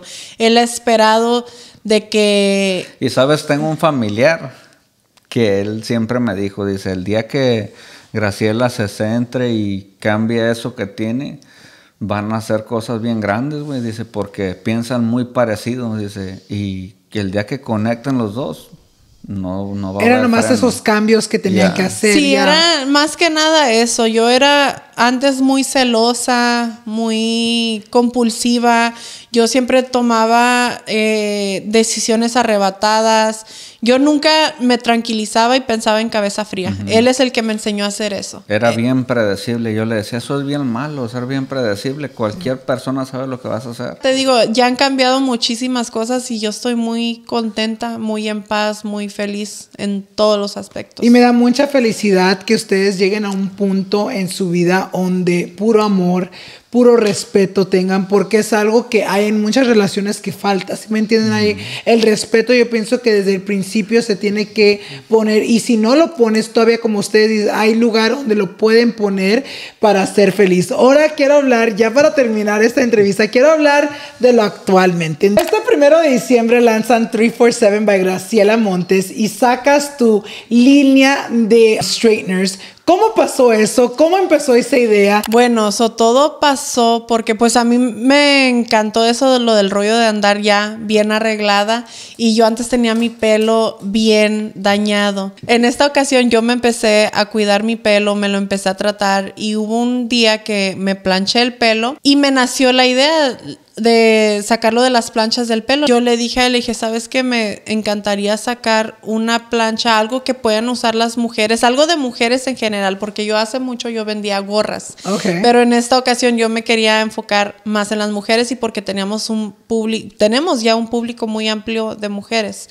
Entonces, sacamos la idea de las planchas, busqué un proveedor, hicimos varios cambios. Yo creo que fácil fueron como unas ocho planchas que se echaron a perder por no me gusta esto y luego cámbienle el otro. Luego el color el creo que el color fue como lo más controversial pero el color pienso que fue agarraron un color perfecto un color sí para mí es lo más ah. perfecto el color es lo como el, el statement más grande. Ya cuando aprobamos lo de el diseño y todo y los features que iba a tener ya fue cuando lo anuncié como en julio, agosto, por ahí, ya que la íbamos a sacar. Entonces, desde ese tiempo para acá hemos estado en producción y iba a ser una pre-order, pero no quise hasta no tenerlas aquí porque yo no quería que la gente, ah, yo no quería que la gente esperara tanto tiempo para para que le llegue y luego a veces también la gente hasta se enoja. Saben que es una preorden, lo esperan. ¿Y por qué no me ha llegado? Porque pues no empiezan a enviar. Sí, ahorita, ya, ahorita ya eh, hicimos sold out porque la, gente estaba esperándolo tanto y de hecho yo le dije a él, ah, yo nomás ordené una cantidad que eran muchísimas, pero él me decía, ordena más y yo no, es que no se van a vender tan rápido. Yo por, por lo más pues rápido que pensé que se iban a vender, dije unos tres días o tal vez una semana. Jamás en mi vida esperé que hiciéramos sold out en menos de dos horas. Y ya se entregaron todas las planchas y ahora ahorita tenemos un pre-order Um, disponible que ya las planchas van a llegar como a fines de enero, pero ya después de esto planeamos en expandir la tienda, meter más productos eh, y ordenar obviamente más planchas, que creo que es lo más icónico por el momento, como pueden ver. Yo estaba en el en vivo cuando hicieron sold out porque estaban en vivo. And yo dije, wow, congratulations, te lo se lo pensaban, pensaban que iban a ser así tan rápido el sold out. Y yo cuando pasó, ¿qué pensaron? Él sí. Yo sí, yo Él me tiene más fe que, yo me tengo fe. Es que yo, yo soy como muy adicto a hacer números, pues. Yo voy manejando y voy tirando números en la cabeza, pues tengo, a lo mejor es un problema, pero yo siempre le dije, hey, no, y de hecho, de esta cantidad que está por hacerse soldado, yo también le dije, deberían, deberías de encargar más. Siempre Pero- me está metiendo presión. Pero ahora ya llevamos un, un- un parte del proyecto, en una marcha del proyecto más amplia porque vamos a meter más cosas. Eh, pues la camisa que traigo es un diseño que yo hice y es parte de las cosas que vamos a poner. Entre otras cosas más que vienen que primero Dios esperamos en enero, a finales de enero poderles dar una gran sorpresa. Sí, so, pe- pensamos, planeamos expandir y pues para ver para dónde nos avienta. Y yo sé que les va a ir muy bien, yo sé que Dios, con Dios todo, ¿verdad? Yo sé que todo les va a salir bien, se les va a vender lo que los future projects que tienen, todito se les va a vender. Ya para terminar esta entrevista, yo quiero preguntarles lo último que siempre pregunto, ¿en dónde se miran ustedes como pareja en cinco años? ¿Qué metas tienen? ¿Qué metas quieren lograr? Quiero saber todo eso. Segurito viviendo en Los Ángeles. Ok, ya, ya, no, ya no quieren vivir en Bakersfield, ¿por qué? Por la educación de Karim. Queremos que vaya a una escuela en específico. Sí, hay una escuela es, es muy específica a la que queremos que asista y esa está por, no aquí, en- no en Los Ángeles, está como en el Valle de San Fernando y también no nomás su educación, el transcurso a cada rato de estar yendo y viniendo de Los Ángeles es muy cansado. En realidad no convivimos con gente en Bakersfield. Bakersfield, te digo, es muy hermoso, pero es muy tranquilo para mí. Yo estoy muy impuesta a, por lo menos en la noche, salir a distraerme como nomás a manejar, a ver, no sé, pues para A ver el Hollywood, mitote. todo. Para... Ya no se puede hacer Sí, eso. allá no. Y una cosa que sí me desespera es que todos los restaurantes están cerrados como a las 8 de la noche. Yeah. 8, Shut up. 9, sí. O Hay sea... uno que es 20... No, no, no es 24. Cierra como a las 2, pero está muy limitado pues el... Sí, menú. entonces eso es como que no podemos estarnos arreglando como a las 8 para salir a las 9 y cenar a las 10. Y acá en Los Ángeles es algo muy normal. Ey, nos vamos a ver el dinner a At so 10 and so o'clock, at 9 10 o'clock, o'clock, yeah. yeah. Y allá no se puede hacer eso. Entonces a mí me da mucha depresión el no poder salir y por lo menos ver algo, no sé. Y pues las amistades que tengo están acá Yeah. en Los Ángeles. Yo pienso que va a estar más mejor ya cuando se muevan para acá, para Los Ángeles, y yo estoy muy excited para ver eso que pase en los próximos cinco años. Si no cinco, a lo mejor menos, ¿verdad? Pues mira, la meta es, es el año que entra. Oh, shit. Sí. Yeah. La verdad, o sea, ya estamos a ese punto que La casa ahí la vamos a tener para cuando... Porque de todos modos necesitamos ir para allá. Yeah. Pero queremos vivir acá. Sí, ya, That's ya crazy. extrañamos. Pues ya la vamos a tener más cerquitas, you guys, para poder verlo, aunque sea un poquito más. Pero with that being said, you guys, espero que ya en casita también les encantó este episodio, igual que yo. Yo siento como que pude conocer un poquito más de su historia. Yo pude conocer detalles que yo, pues, nunca había sabido. So, estoy muy contento con eso. Yo sé que ya en casita también ustedes estuvieron super happy que estuvieron aquí, malcriado. Y Graciela, I want to say thank you, porque como les estaba contando, yo sé que dedicaron casi todo el día de venir para acá y hablar conmigo, entonces yo se los aprecio mucho y en verdad que ando muy feliz ahorita que teniéndolos aquí conmigo. No, gracias a Es ti, un la verdad, placer, la verdad. por habernos Por- Por el invitado. espacio y la verdad que eres una persona con la que nos sentimos muy Ah, cómodos. gracias. Sí, eres una persona muy querida en la casa y eso es lo que yo siempre le he dicho a él. Digo, el Allen siempre ha sido leña conmigo desde que lo conocí. Yeah. Él nunca se fijó quién era, en los seguidores. Y I tú sabes you. que lastimosamente en este mundo Así pasa. Así pasa en muchas ocasiones y yo siento que tú eres de las muy únicas personas que yo puedo decir, Allen es un amigo. Oh, thank you. Yo también Porque yo siempre, siempre, he me has dicho- tratado igual. Y a mí también, Gracias. este, les hago hincapié, es una persona que me hizo sentir muy cómodo a mí cuando yo de recién me empezaba a juntar con gente que... de este mundo, Sí. ¿no? Y se los agradezco mucho porque yo también a ustedes los aprecio mucho. Yo siempre que hablo de Graciela, siempre me salen puras bonitas cosas porque siempre que hablo de ti tengo puras cosas muy bonitas que decir. Entonces estoy muy contento que también ustedes se sientan igual así conmigo. Y yo también estoy muy contento de que ustedes pudieron ver este episodio, amigos. Si ustedes los quieren seguir, ahí les voy a dejar todas sus redes down below, as well as on the screen para que vayan y los sigan. Y también no se les olvide de seguirme a mí en todas mis redes para que no se pierdan any future episode. With that being said, you guys, thank you guys once again. Thank you. Thank Gracias you. a ustedes también. Gracias también por Y muchas aquí. gracias por mirarnos y los miramos a la próxima. Bye, guys. Woo! Hicieron bien, you guys did so good, me encantó.